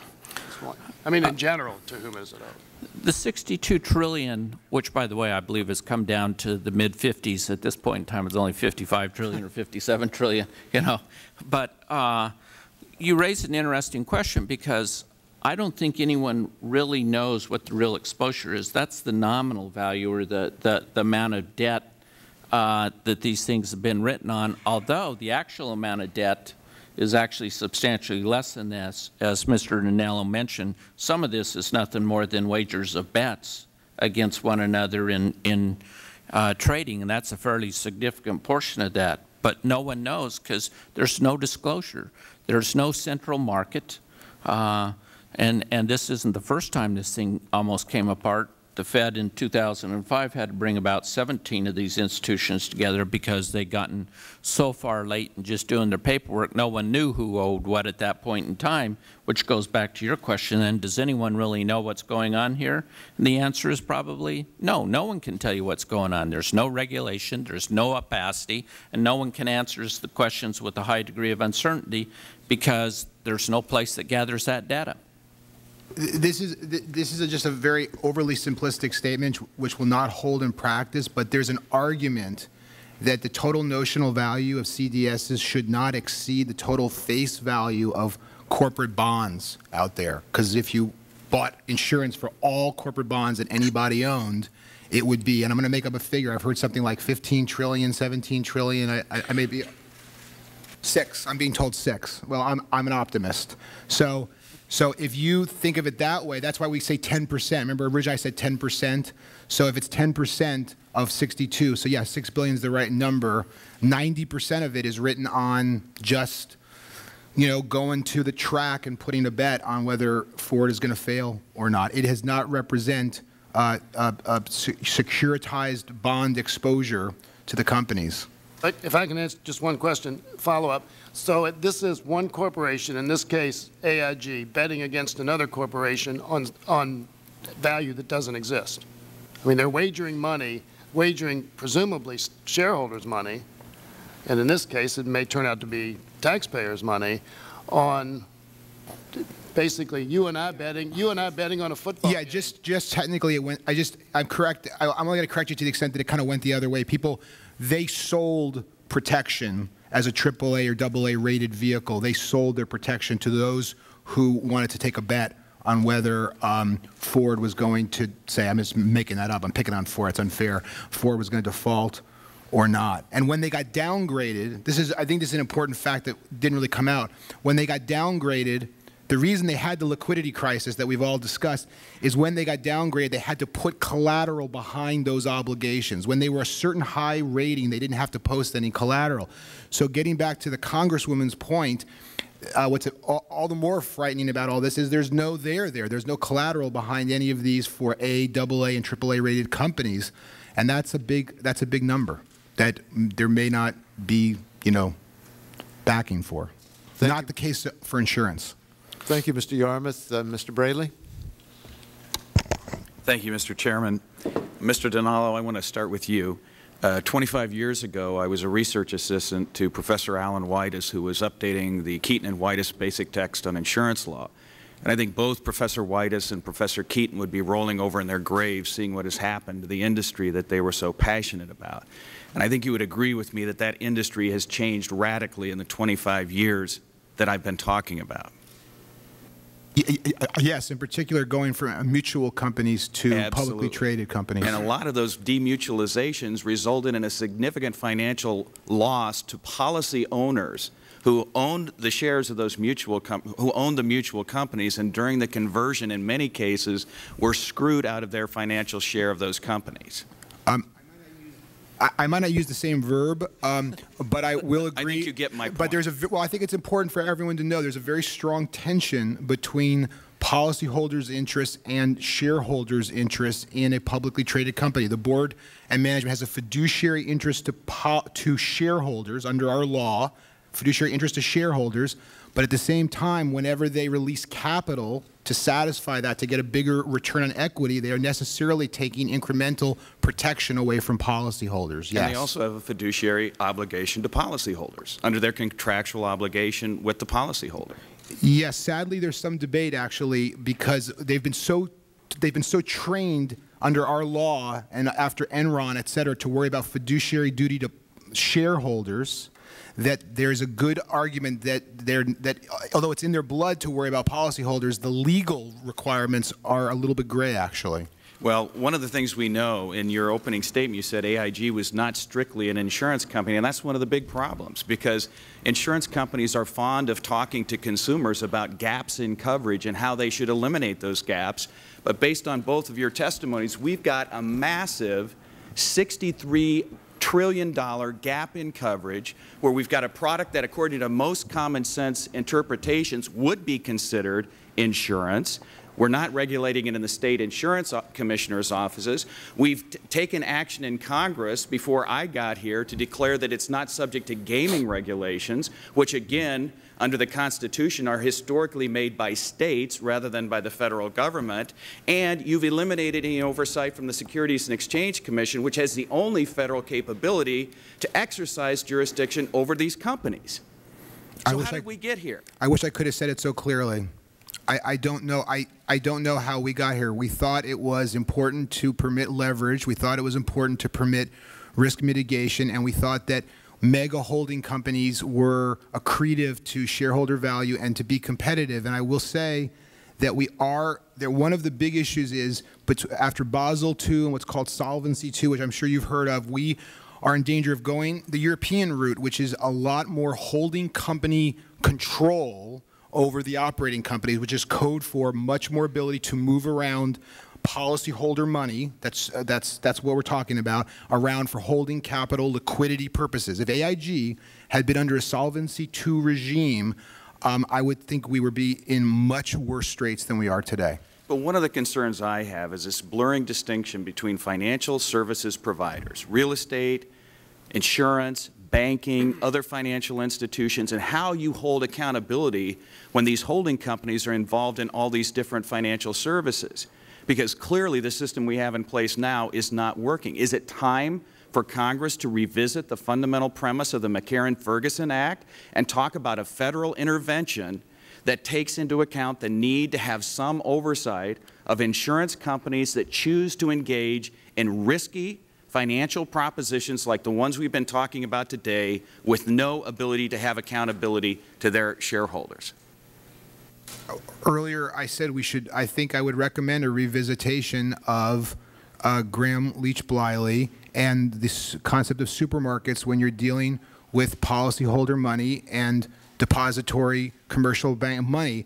I'm not sure. I'll just remain agnostic whether the solution is a federal oversight or continue with the states or some hybrid because I think that it is important to have states in the solvency business. They've done extremely well on that. They've done not so well, clunky on other things like product registration and licensing of agents. We're pretty clunky on that. But the one thing we got right, and the reason that we're even here today, to the extent there's optimism here, is because there was solvency done by state regulators. And just to follow up on Mr. Souder's comment about the guarantee funds, you would agree that most state insurance laws provide a cap on those guarantee funds, typically in the amount of $500,000 or surely a million dollars or less. And when you're talking about an exposure of $63 trillion, that would have no impact to protect taxpayers. Actually, New York is one of the richest guarantee funds, and I think the numbers you just described are New York numbers most states are. I don't. This is not to be pejorative to other states, but most states are substantially lower. Some people think that lower is better because it stops the moral hazard of writing bad policies because there's the, always the guarantee fund behind it. But yes, it would it would have been a real stress on the system, undoubtedly. Thank you, Thank you Mr. Braley. Uh, Mr. Uh, Davis. Thank you. Do you think anybody ought to go to jail over this? You take a stab at that. Think anybody ought to go to jail over this? Uh, to, uh, to, whom is your question directed? Okay. I'm not asking you to name anybody or build a case, but I'm just saying, looking at the end results, how the companies operated at this point, were they all within the law, or did somebody break some rules along the way and just nobody caught them? I don't. I don't have sufficient. I don't have sufficient evidence to have an opinion about it. The only thing that I would say is, I think that as a regulatory society, so to speak, we all did kind of chase after mortgage default numbers. In other words, some of what was described earlier about the escalating losses at AIG was certainly a, a, default rate loss. In other words, we've all seen how the rating agencies have hugely changed their ratings based on how quickly the default numbers are coming in for mortgages. And I'm not taking a position whether it's criminal or even civil. But it is the case that a lot of us, including the best rating agencies, some of the best securitization people in the world, and some regulators, got wrong what was going to be the default rates, which it turned out our global economy was hinged on. Well, if it wasn't criminal, was it at least negligent in some areas? Um, I, I, I, won't even opine on that, but I would say that I did say that, that, that, that the letter, if true, that I heard is something that you would be concerned about. Yeah. Mr. Turner, you got any thoughts on that? Yeah, Congressman. Um, I don't think you send people to jail um, for making bad business decisions. That happens day in and day out, and people shouldn't be prosecuted for that. On the other hand, if uh, someone uh, knew there were problems in the company and failed to comply with the security laws and disclose those to investors who bought them and are now seeing their retirement savings go away and disappear, and uh, then yes, I'd turn around and say, little little time behind the bars well, would probably be good. Let me ask this: How about the people writing the mortgages? You talked about the first tier and the second tier and how it got lax. I mean, at the end, they weren't even asking tough questions. Yeah, no, I think the term is a ninja, right? No income, no job, no assets, or something like that. It's unbelievable. Um, we were harvesting uh, mortgages at a rate that I think is completely unacceptable as a society, and we were in various ways encouraging people to engage in underwriting decisions that um, I find shocking, frankly. In fact, didn't AIG, they got caught up in this. Their competitors were doing it. They started a new line that they hadn't and no expertise in used an insurance model and it just blew up on them. Is that basically what happened? I think to a large extent, people did not. We rely. This is what I was trying to say before. We relied on historical default rates in housing that maybe for the first two iterations of loans was wholly appropriate. By the seventh or eighth, we had basically injected we correlated the system because we weren't take, we weren't we weren't securitizing natural loans. We were securitizing created loans. Now, your argument, as I understand it, is that the Commodities Futures Modernization Act, in retrospect, uh, went too far. It was a, a mistake. That's that's what I, th I think that's a fair implication of what I said. Yes. And that was signed just on the eve of the 2000 election. I think it passed Congress. Uh, yes. Fortunately, I did not support it. But as I was looking at the just going through the votes and everything, uh, it was signed right on the eve of the 2000 uh, election. Uh, obviously, some modernization was needed because there was a huge congressional and, uh, at that point, uh, administration consensus. But you think it just went too far. Is that you wouldn't argue there shouldn't have been changes. It just think it, in retrospect it went too far. No, it was just absolute. It says this act shall supersede and preempt the application of any state or local law that prohibits or regulates gaming or the operation Yeah. of bucket shops other than anti-fraud Yeah, provisions. I, I, I agree. Um, what about the Reauthorization Act this year? Did you follow that? That was reauthorized this year. You know, how they reauthorized it? They attached no. it to a farm bill, an agriculture bill, which was vetoed by the President and overridden in Congress. And that's how a lot of these things get done. I think members said, oh, this, you know, that, so that's how a lot of this business uh, uh, gets done. What about Gramm Leach uh, Bliley in retrospect? Again, that was done in the, uh, uh, over eight years ago.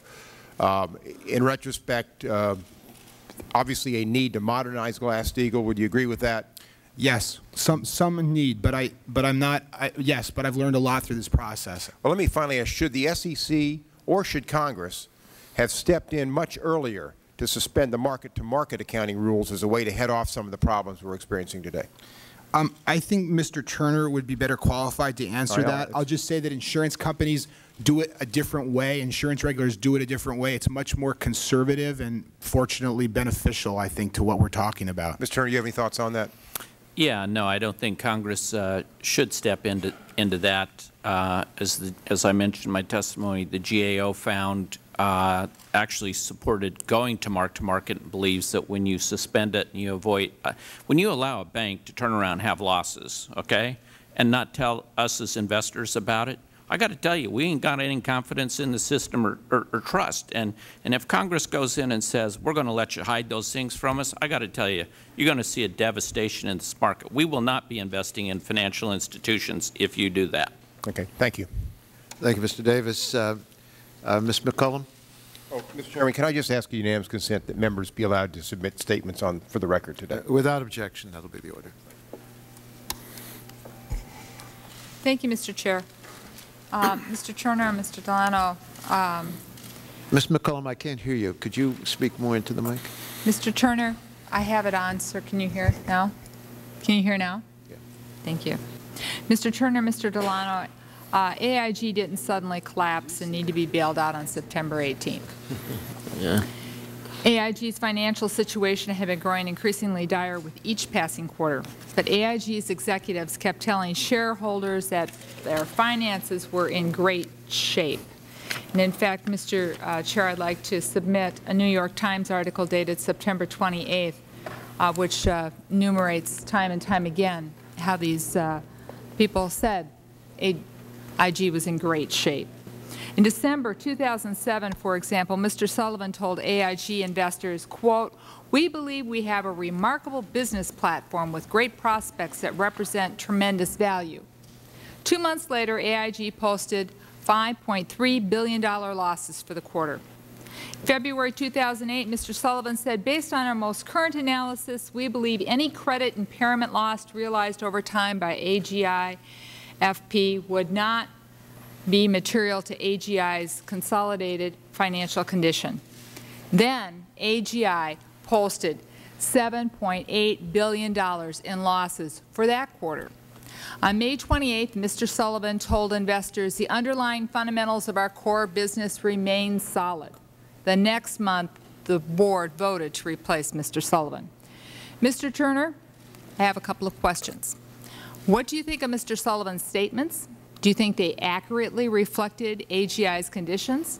And Mr. Dinallo, I'd like to know if you have a view on that as well.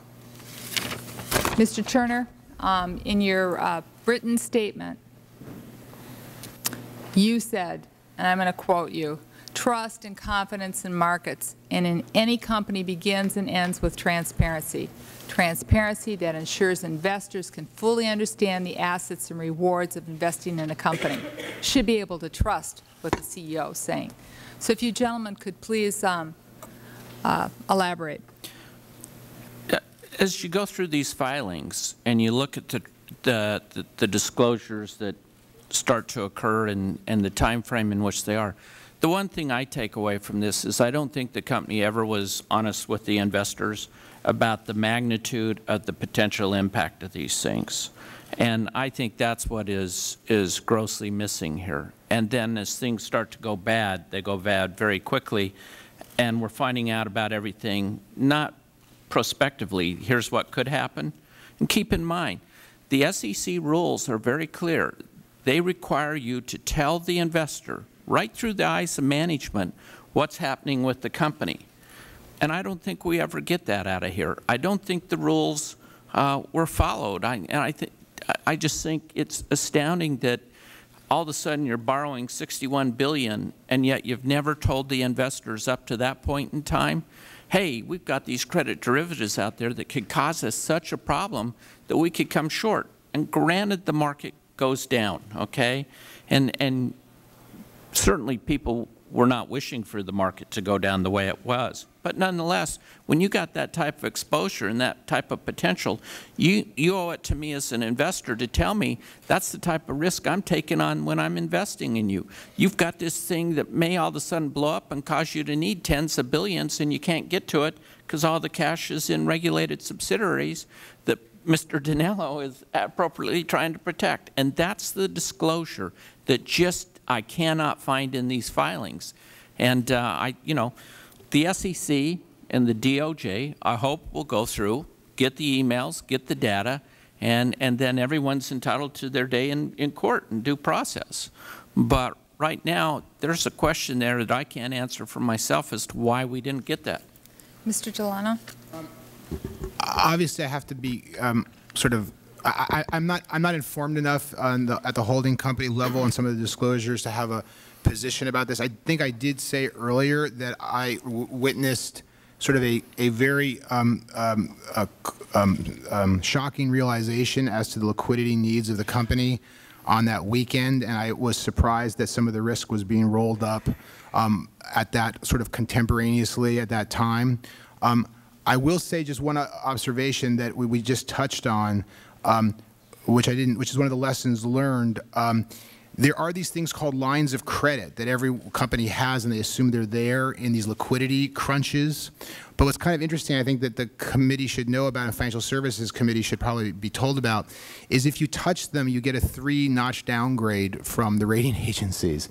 And so they're kind of fictitious in some ways. I don't mean this badly, but people have them, and they convince us that they have this line of credit that will help them through these tough times. But if, God forbid, you need to hit the $15 billion line of credit that these companies have, the consequences are such that you might as well not have them because the, you might as well have gone through the downgrade because you're going to go through it for touching the line of credit.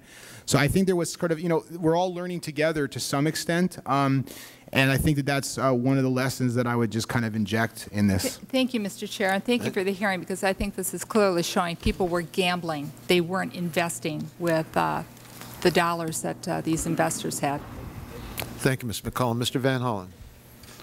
Uh, thank you, uh, Mr. Chairman. Thank you both uh, for your testimony today. Mr. Mr. Turner, I just want to follow up on my colleagues, Mr. Yarmuth's questions. He asked you about some of the golden parachutes uh, that were available for Mr. Sullivan and others uh, at AIG. I want to talk about the regular compensation and bonus uh, plan. And as you state in your uh, statement, uh, you talked about the dangers that bonus plans that are, quote, designed to pay executives hundreds of times what their average employees made as they engaged in business that would eventually cripple the business that they ran.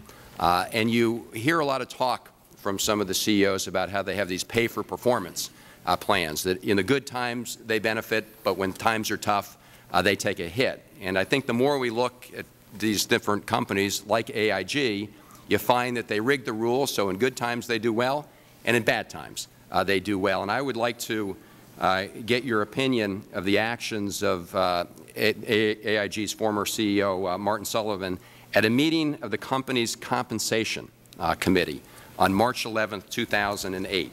Uh, the committee has obtained documents uh, of that meeting. Uh, AIG has two bonus programs. The first is called the Partners Plan, uh, and that covers the top 700 executives. Uh, the second is called the Senior Partners Plan, and that applies only to the top uh, 70 executives. Mr. Sullivan benefits from both plans. Now, according to the plans, and again, if you listen to what they're saying, rewards were supposed to be based on the company's performance.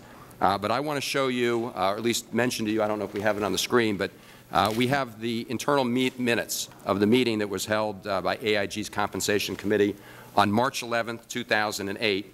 Uh, and as you can see, uh, what those committee meetings show is that Martin Sullivan, who was CEO at the time, personally urged the committee to waive, to waive the bonus rules right after the company posted a record loss. And as you can see, that what the minutes say is Mr. Sullivan next presented management's recommendation with respect to the earnout for the senior partners for the 2005 through 7 performance period, suggesting that the AIG FP, that's the final pro financial products uh, division, that their unrealized market valuation losses be excluded uh, from the calculation. Essentially what he's saying there is the rules, if we applied them, wouldn't let me get my bonus, so let's change the rules. Isn't that right? Uh, that's the way I would read that. All right. And this, uh, this comes on the heels of the February 8th, 28th AIG posting of losses of $5.3 billion for the quarter, which came primarily from the financial products division. Isn't that right? Yes. Okay. So, and, and the record also uh, makes clear that, in fact, uh, the board, not surprisingly, agreed with their CEO, and he got his $5.4 million bonus, despite the fact that AIG uh, ran up $5.3 billion in losses uh, in the quarter uh, before. I, I, just have to you know, ask you, you know, because people, people understand when people get rewarded for doing well. Uh, but everybody else out there operating the economy, when, when, when they don't perform, they get their pay cut, they get fired. These guys there is absolutely no accountability. So I'd like you to, to comment on the kind of changes that need to be made, in your view, to make sure this kind of thing does not happen uh, going forward. And then, Mr. Dinallo, I'd like any comment you've got. Uh, as someone who uh, has followed governance and, and read many of these type of, of plans, quite frankly, when I was uh, running the research at Glass Lewis, uh, this is not an isolated occurrence. We've seen this time and time again in corporate America where uh, you set up a pay-for-performance plan, but then when you didn't hit the performance triggers, you changed the triggers. You didn't say change the compensation. And there's just fundamentally something wrong with that. And that's one of the reasons this institution, quite appropriately so, I believe last year, voted and approved uh, the say on pay proposal uh, that is a middle-of-the-ground proposal and a very, very good proposal. Uh, it's unfortunate. I know it was in one of the drafts of the bailout legislation and didn't stay in it. That was very unfortunate. But I think uh, certainly we need to have, in this country, give the shareholders the vote an opportunity to pay on, uh, uh, vote on situations like this uh, with full disclosure so you're aware this type of stuff is going on and I think only by doing that are we going to get this reined in. I think anything short of that is going to leave these plans in place, leave this type of behavior in place, and people are going to continue to be outraged about it. You're not going to get the changes that you need. So when we have say on pay as investors, when we invest in the UK, when we invest in Netherlands, when we invest in Australia, but we don't even have that right as investors here in the U.S. There's just something fundamentally wrong with it. So we need this institution, the House, and we need the Senate, by golly, to follow your good leadership on that and pass the say-on-pay proposal now. Not a year from now, but now. Thank you. Thank you, Mr. Turner. Thank you, Mr. I would only I, I would only add that a lot of Wall Street and traders and I think uh, AIGFP is uh, analogous to this, are paid on a revenue basis as opposed to an end-of-year profit basis. And there is something to that. And you can, you know, create a lot of revenues without actually booking a profit sometimes. And so that's something that people have written about recently, about sort of changing that approach to compensation for certain financial services activities. Good. Thank you. Thank you both. Thank, Thank you. you, Mr. Van Hollen. Mr. Sarbanes? Uh, thank you, Mr. Chairman. I, am trying to understand this um, in, in the context or in terms of uh, how we got all these toxic assets infecting the markets out there, which at the end of the day just gets back to this, this insatiable appetite to generate new loans. And when, when there weren't enough loans out there in the conventional market, uh, we then had these people that were reaching into the unconventional market, into a very, very risky market, um, and that created this, this toxin that went up the chain. So my interest in what AIG was doing is to the extent that it was it was seen as providing the hedge slash insurance backstop to these Wall Street firms that were increasingly getting into the business of trading in, in very unstable or risky uh, security products. Um, with the effect, I, I take it, and I'd like your view on this, with the effect that um, it, it, increased their risky behavior, and that gets pushed down the chain. So they begin to encourage more and more risk on the front end. And once you've relaxed the underwriting standards on, on the front end of the thing, um, it becomes very difficult to continue to manage the risk up the line because the, the original thing that you've created um, in and of itself is unstable.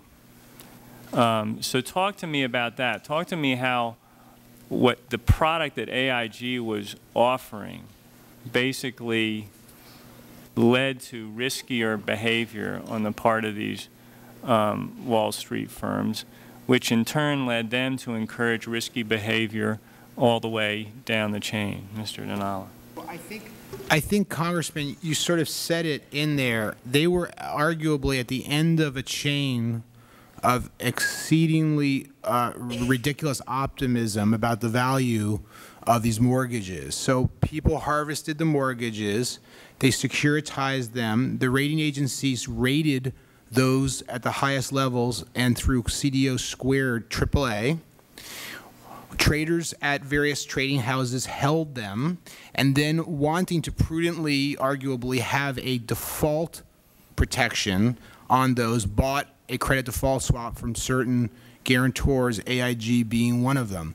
So I would say that at some level, what AIG did was it gave kind of, it was the last line of defense with its high rating, I think it was double A at this time, saying, well, the rating agency is rated at triple A, so we'll even guarantee it against default. And uh, one of your points I thought you were sort of making was, if any, maybe if anyone in that line of activity had acted with, uh, this will be a little bit impolite, but acted with common sense instead of models, they might have said, this doesn't feel right, and I'm not going to put my reputation, assets, shareholder value, rating at risk for this. Well, you had two things happening.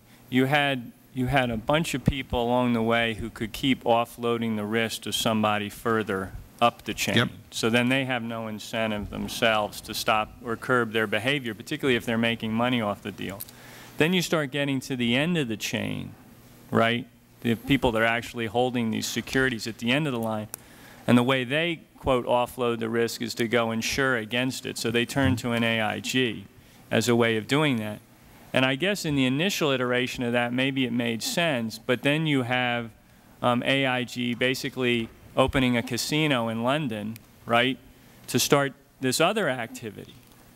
So at what point would, at what point should the, the investors that were purchasing this as an insurance policy, should they have known that AIG, their, their quote insurer, was getting into this other risky enterprise?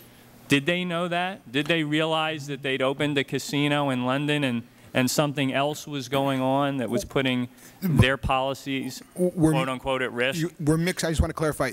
I think we're mixing the term insurance policy somewhat loosely. You, when you ask that, you mean the the people who had actual property life insurance, the, the common man and woman who had life insurance policies and property policies with AIG. Is that no, what no, you meant? No, no. I'm talking about the insurance product that was the CDS. To ah. the extent it was, because it began that way right? Yeah, but it always, but my understanding, Congressman, it was always out of financial products. Right, but be, what I'm saying is it began as a legitimate, quote unquote, hedge against the downside risk of this particular security that you hold.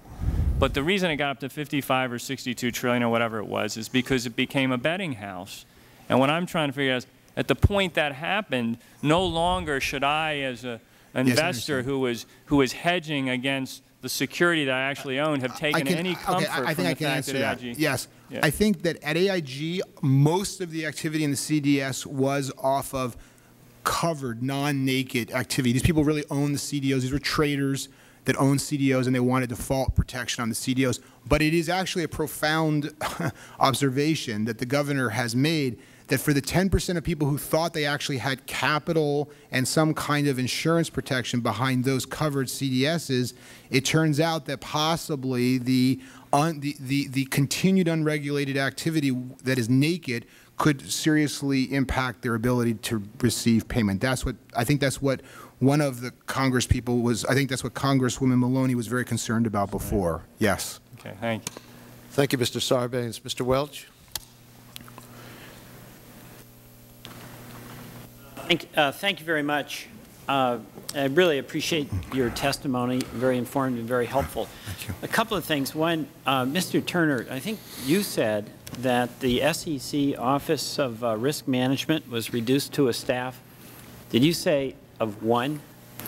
Yeah, when that gentleman would go home at night, he could turn the lights out in February of this year, that we had gotten down to just one person at the SEC responsible for identifying the risk at all the institutions. So that included the $62 trillion credit uh, default swap? That's correct. And how do you do? Well, I suppose he got the lights turned out, but didn't get the uh, problems taken well, care of. You know, it reminds me, we had a hearing earlier on uh, in this committee uh, about these tainted toys. Kids were uh, buying, or they were getting toys that had lead paint. And it turned out that the uh, Consumer Product Safety Commission apparently had one person, I hope it wasn't the same person, uh, inspecting all the Chinese imports.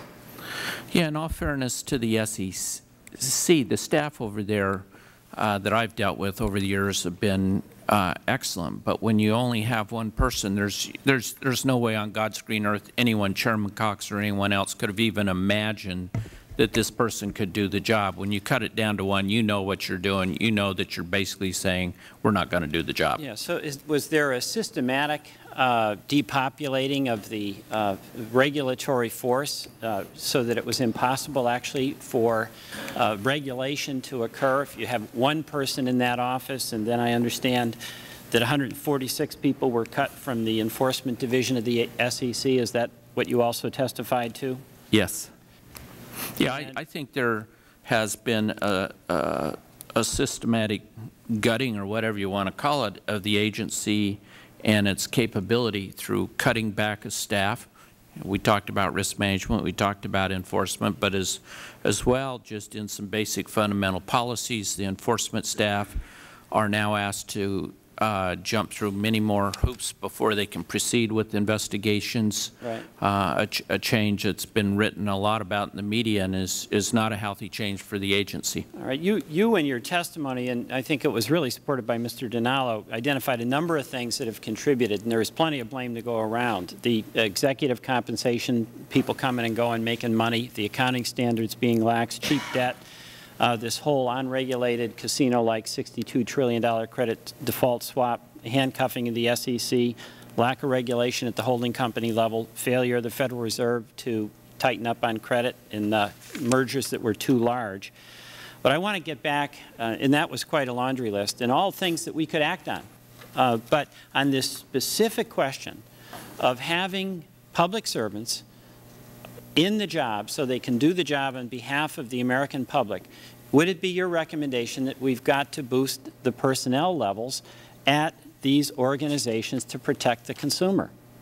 Uh, unequivocally, uh, yes. I believe in the Appropriations Committee over in the Senate Banking, they've given them about a $30 million increase, and I suspect that that falls short. It probably is going to need to be, if you really want the SEC to do job and they're you're serious about it, given the cutbacks that have occurred in the last three years or so, you're probably going to need an increase in at the SEC realistically more in the range of 50 to 75 million or right, and that's paid for by that SEC transaction fee.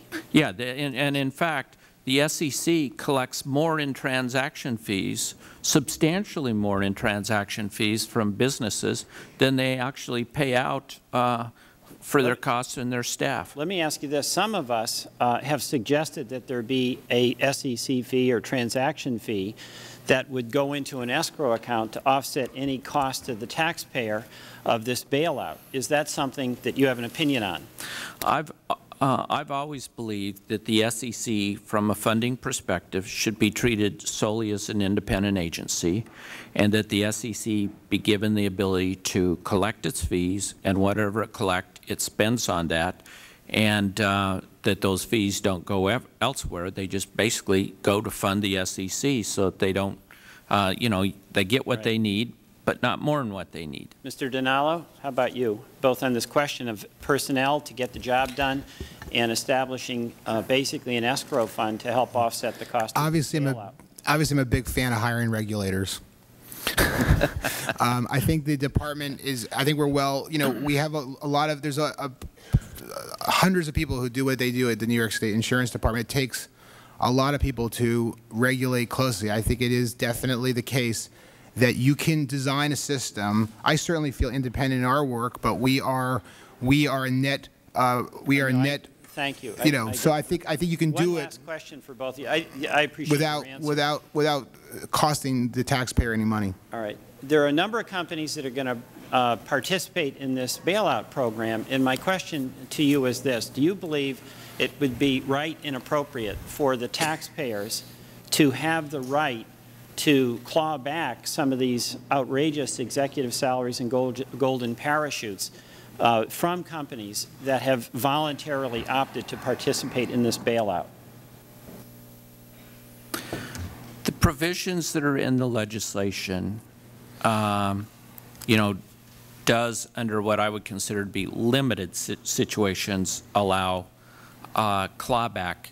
Uh, but people need to understand it's it's limited. It's not everyone. I thought it should have been everyone, quite frankly. That's what I'm asking. Yeah, I mean, we have another crack at this. I mean, this was a gun at our head piece of legislation that we had to pass, we were told, in order to avert a catastrophe. But we have an opportunity to improve it, and we're going to have to. So would you support a stronger clawback provision? Uh, Yes, and I've communicated with members of Congress already that I think the clawback provision, the severance provision, uh, there were three provisions there in compensation, and they all could have been much stronger than Right. what was done Well, the first go-around. Mr. Dinallo, how about you? I don't think I have enough of a basis to give an opinion. I thought Congress did a pretty good job the first time around, but I'd have to see some kind of a proposal to, to know for all such instances. Okay, thank you. Thank you, Mr. Chairman. Thank you, Mr. Welch. Uh, Ms. Speier? Thank you, Mr. Chairman. Mr. Dinallo, I am one of those that believes that the regulation of insurance companies should be at the state level. And if there ever was a great example of why it works, it is AIG because the insurance part of AIG is solid. Having said that, uh, you as a regulator have the authority to conserve, to take institutions into conservatorship. And once you do that, uh, my understanding is, it certainly is in California law, that you know, all bets are off. Contracts are off. You are there to make sure that the corpus is protected for the policyholders. Is that correct? Yes. All right. In this, Yes. in this situation, we now own AIG. The taxpayers of this country, for all intents and purposes, own AIG. It's in conservatorship. Mr. Cassano, who was the, the golden boy of the casino in London, um, had his compensation um, very attractively devised so that over the course of eight years, he actually earned more money than the CEOs, um, some $280 million because he was getting 30 cents back for every, uh, on every dollar, he was receiving 30 cents back in terms of the products that were being sold.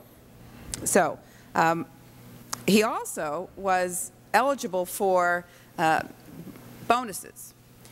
He was eligible for $34 million of what were unvested bonuses. But in February of this year, he took um, that company, that division down to by $5.3 billion. Uh, and yet, he was fired the next day, and the following week, the committee has a copy of a letter that's a contract, I uh, presume here, that confirms this agreement in which he was given the $34 million. And oh, by the way, he is now on contract as a consultant to the tune of a million dollars a year, and we, the taxpayers, are picking up that tab. So here's someone who brought the company down. The taxpayers now own this company. It should be in conservatorship, and this man is still getting a million dollars a year. Now, if it was in conservatorship as an insurance company, you would be able to void those contracts, wouldn't you? Yes. Let me, inter- let me intervene just to say it's a million dollars a month. Excuse me, a million dollars a month. Yes. If those, if those contracts were, Thank you, Mr. Chairman, for that clarification. Yes. if those contracts were with an operating company that we brought into rehabilitation, which you would call conservatorship, we would have, a- we, we do have incredibly potent powers over policies and contracts of the company. We basically step in and become the management at our, you know, salary. So that fancy conference in California could have been stopped under those uh, circumstances? Y- Yes, although I presume, yes, that's, although, again, that's, we're talking about holding company activity. So, Mr. Turner, knowing what we know, knowing that Mr. Cassano now is getting a million dollars a month, paid for by the taxpayers, even though he's no longer working there, and he did get his bonus even though he didn't earn it, um, do you think we should claw back? Well, there's always the legal question of legally what you can or, or cannot do. Unfortunately, one of our problems is we paid out, or investors are quite frankly going to pay out, and now, as you mentioned, taxpayers, time and time again. It's not just this situation. It's this situation, as you aptly describe, others at other institutions, Merrill Lynch, Countrywide and the likes. And if there was a way you could find legally to go enact legislation that would allow clawbacks of those sums where there was absolutely pay and no performance, if not destruction, I would be a big fan of it. And the, the real question is legally whether or not you could could do that. I would certainly say, though, we've learned a lesson, and let's not repeat it again, and let's go fix this going forward as well. If you can do something in the past, I'm sure I've heard from a number of my uh, uh, fellow neighbors that they'd love to see you go get what you couldn't back from the past as well. One last question to you, Mr. Dinallo. You determined to take $20 billion from the insurance company and give it to the holding company. Yes. Um, explain to us why you did that. Did you think that that was going to be enough to hold them over? Yes, so we didn't actually do it, but we did at a certain point offer to do it as part of a holistic solution. We did believe at the time that the liquidity problem of the downgrade that I talked about before was on the order of $15 billion, a need for liquidity. So there was a plan to take what was excess surplus. This is an important point. There's the asset liability match, promises versus assets held. There's a statutory surplus above that, and then there's excess surplus even above that, which companies often have the right to decide how to use. And we thought that prudently we could loan that essentially through the property and casualty companies to fix the liquidity problem on the basis that the life insurance companies were going to be sold, which is part of the AIG plan or, or some companies to repay that loan. So at the time, the governor thought, given AIG's presence in the community, the number of jobs at stake, et cetera, that that was a, and given it was not in any way going to put policyholder protection at risk, it was a reasonable use of excess surplus. Ultimately, we didn't need to do it, but that was the beginning of that weekend where I was called in and the governor sent me in to um, understand how we could be uh, pragmatic on a liquidity basis. Yes. Thank you. Thank you very much, Ms. Speier. Ms. Watson? Mr. Chairman, I want to thank you for this opportunity to uh, have the public listen in as we try to unscramble eggs. And Mr. Dinallo and Mr. Turner, thank you so much.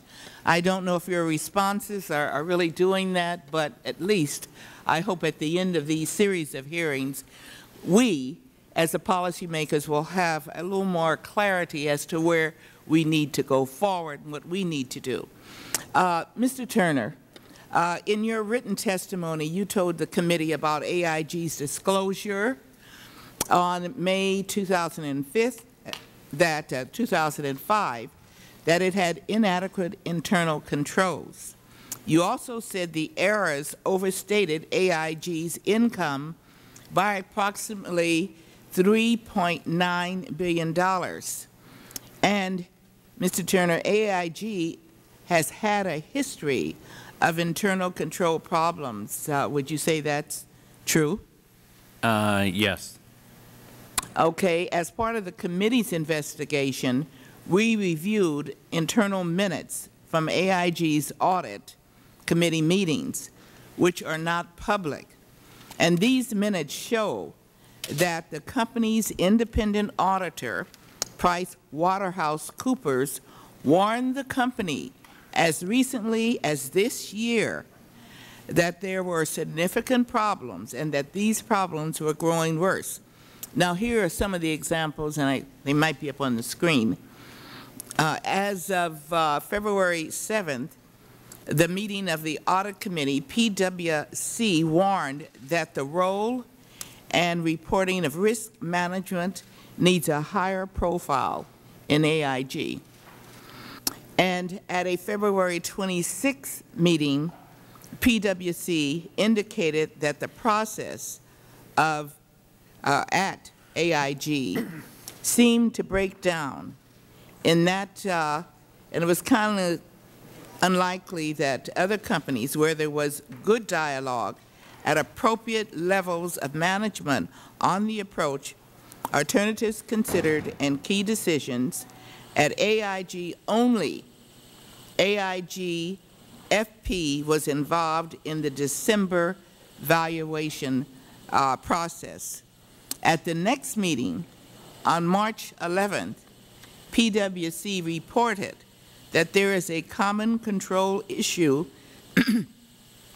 and root cause for these problems, and that AIG does not have appropriate process or access or clarity around the roles and responsibilities of critical control functions.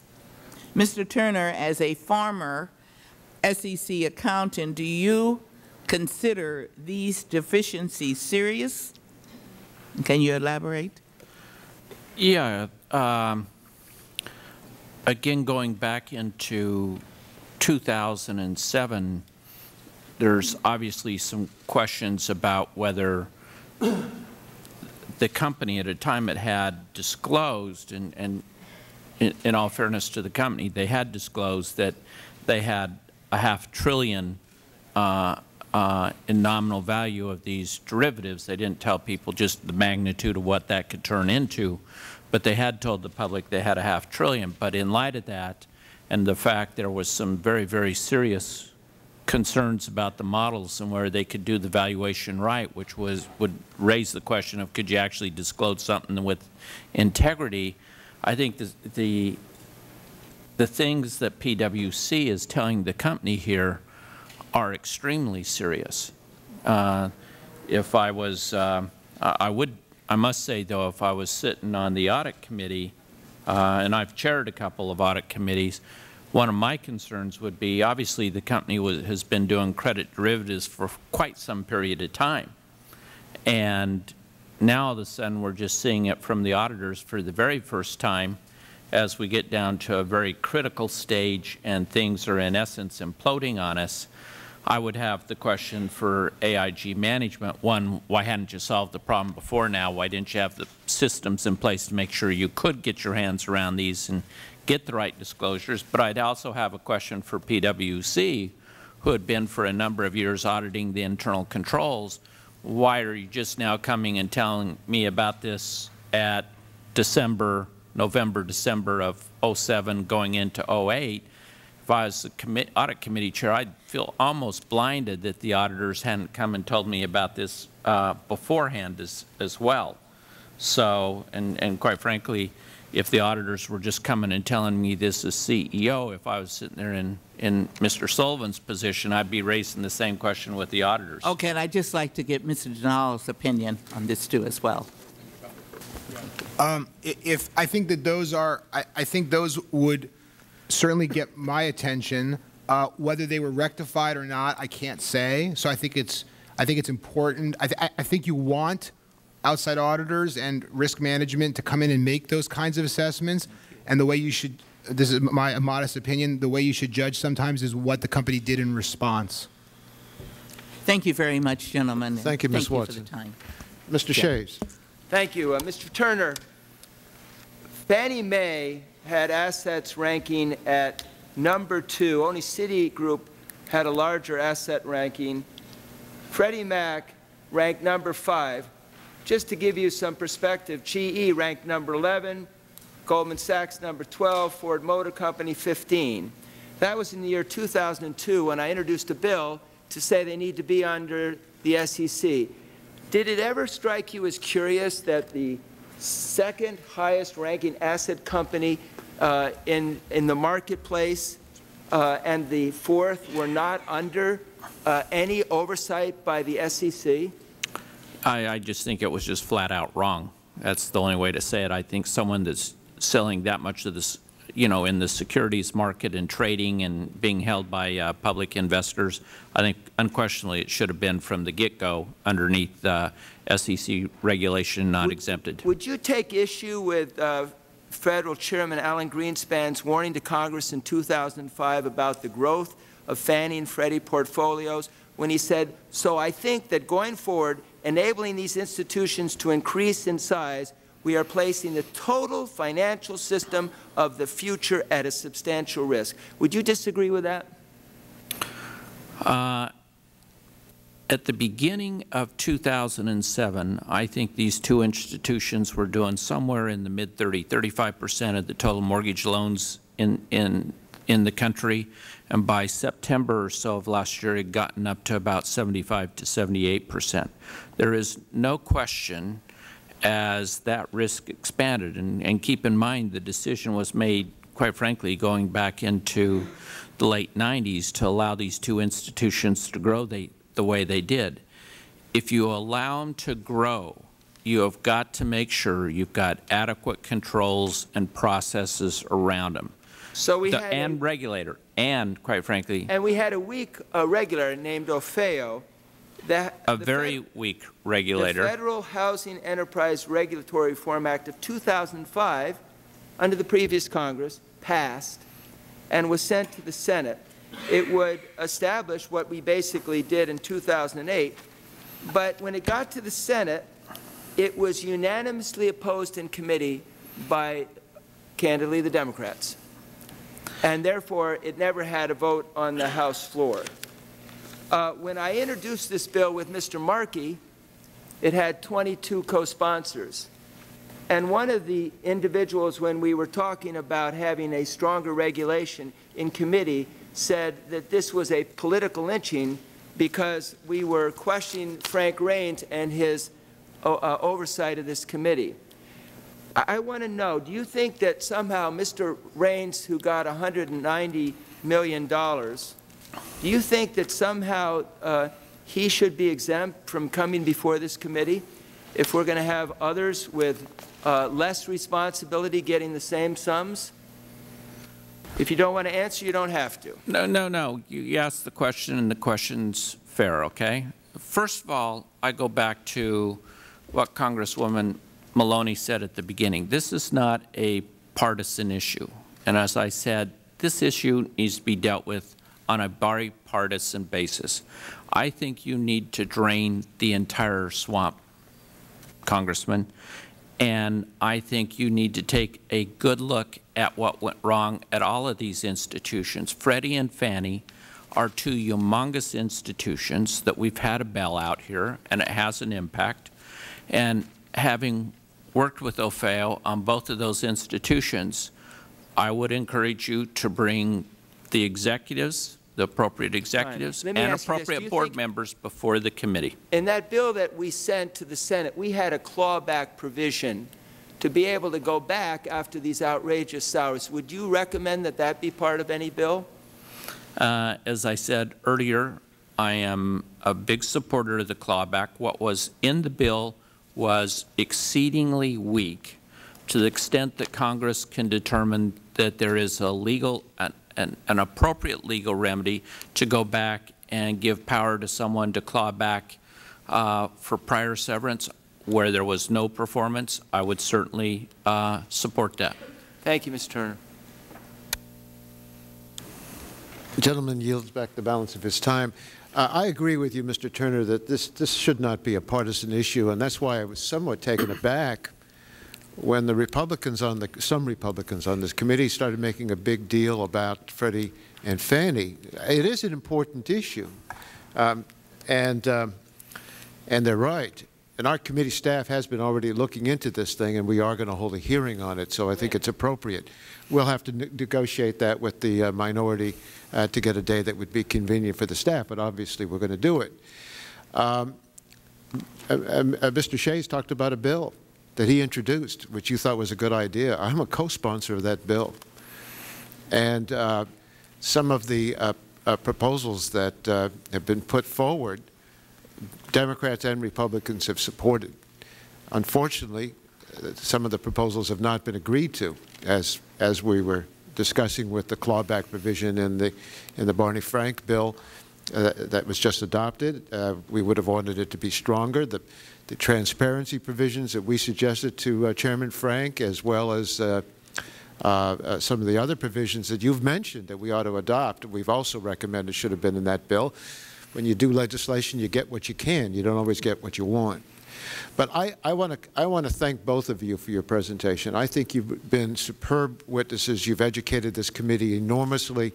And I have to say about the members on both sides of the aisle, I thought the questions have been asked of the two of you in the conversation, that more of a conversation than anything else, has been very, very constructive.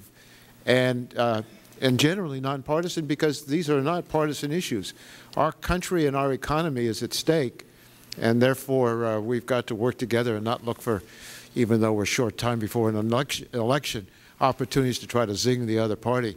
These are not the kind of issues that uh, ought to be put out of, for that, in my view, uh, uh, on a partisan basis. They're the kinds of things that we need to look at very carefully together I don't know that there's a Republican or a Democratic response to abuses of shareholders and taxpayers. I don't think there's going to be any difference as we look at those issues together, and that's why we're uh, holding these hearings to find out how we got to where we are and what kinds of suggestions we want to put forward for the future.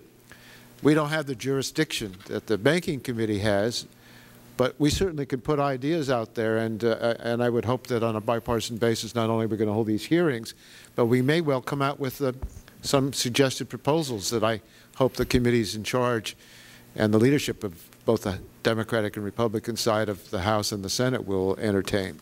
Would the gentleman yield for a question? Uh, yes, certainly. Thank you. I, I do want to compliment uh, this committee on the way they've asked their questions. I do think we are trying to get at the answer both on a, on a bipartisan basis.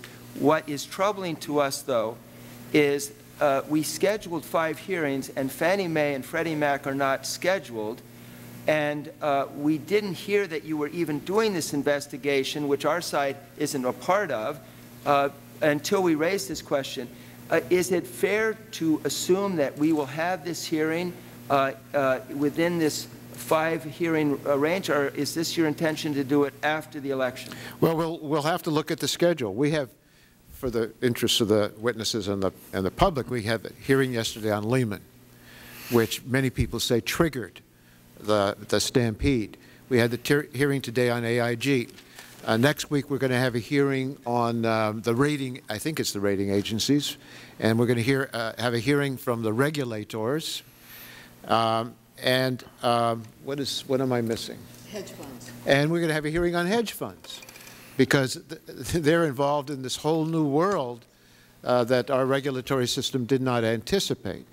So uh, while we've scheduled those hearings, members on the other side of the aisle said, well, what about Freddie and Fannie, Fannie Mae and Freddie Mac? Well, we're looking at that in preparation for hearings. But I, I, I will uh, work with the Republican staff and the Republican members to make sure that we have all the hearings necessary, and I think it's appropriate that we look at them, and we will hold a hearing on it. And we'll have to discuss the date. Mr. Chairman?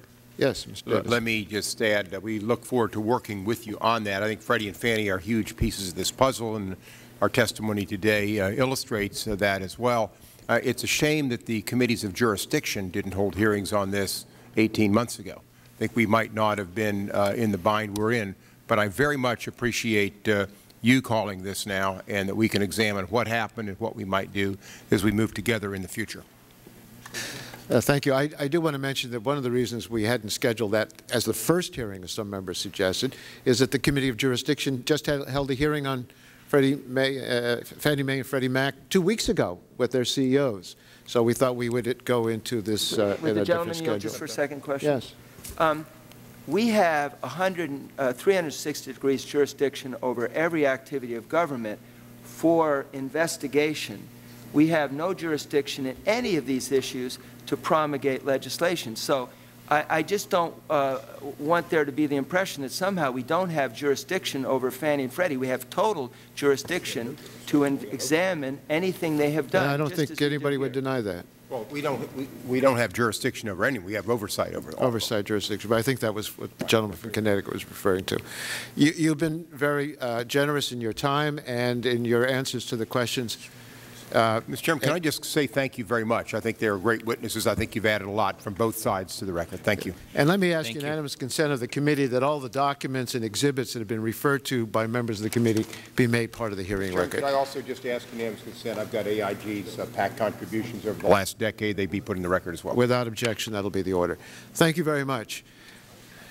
Um, We are going to move on to the next panel, but we will uh, uh, break for sufficient time for the, the, uh, these witnesses to, um, uh, to leave and for the uh, next uh, two witnesses to come to the table. So we will continue on our committee hearing.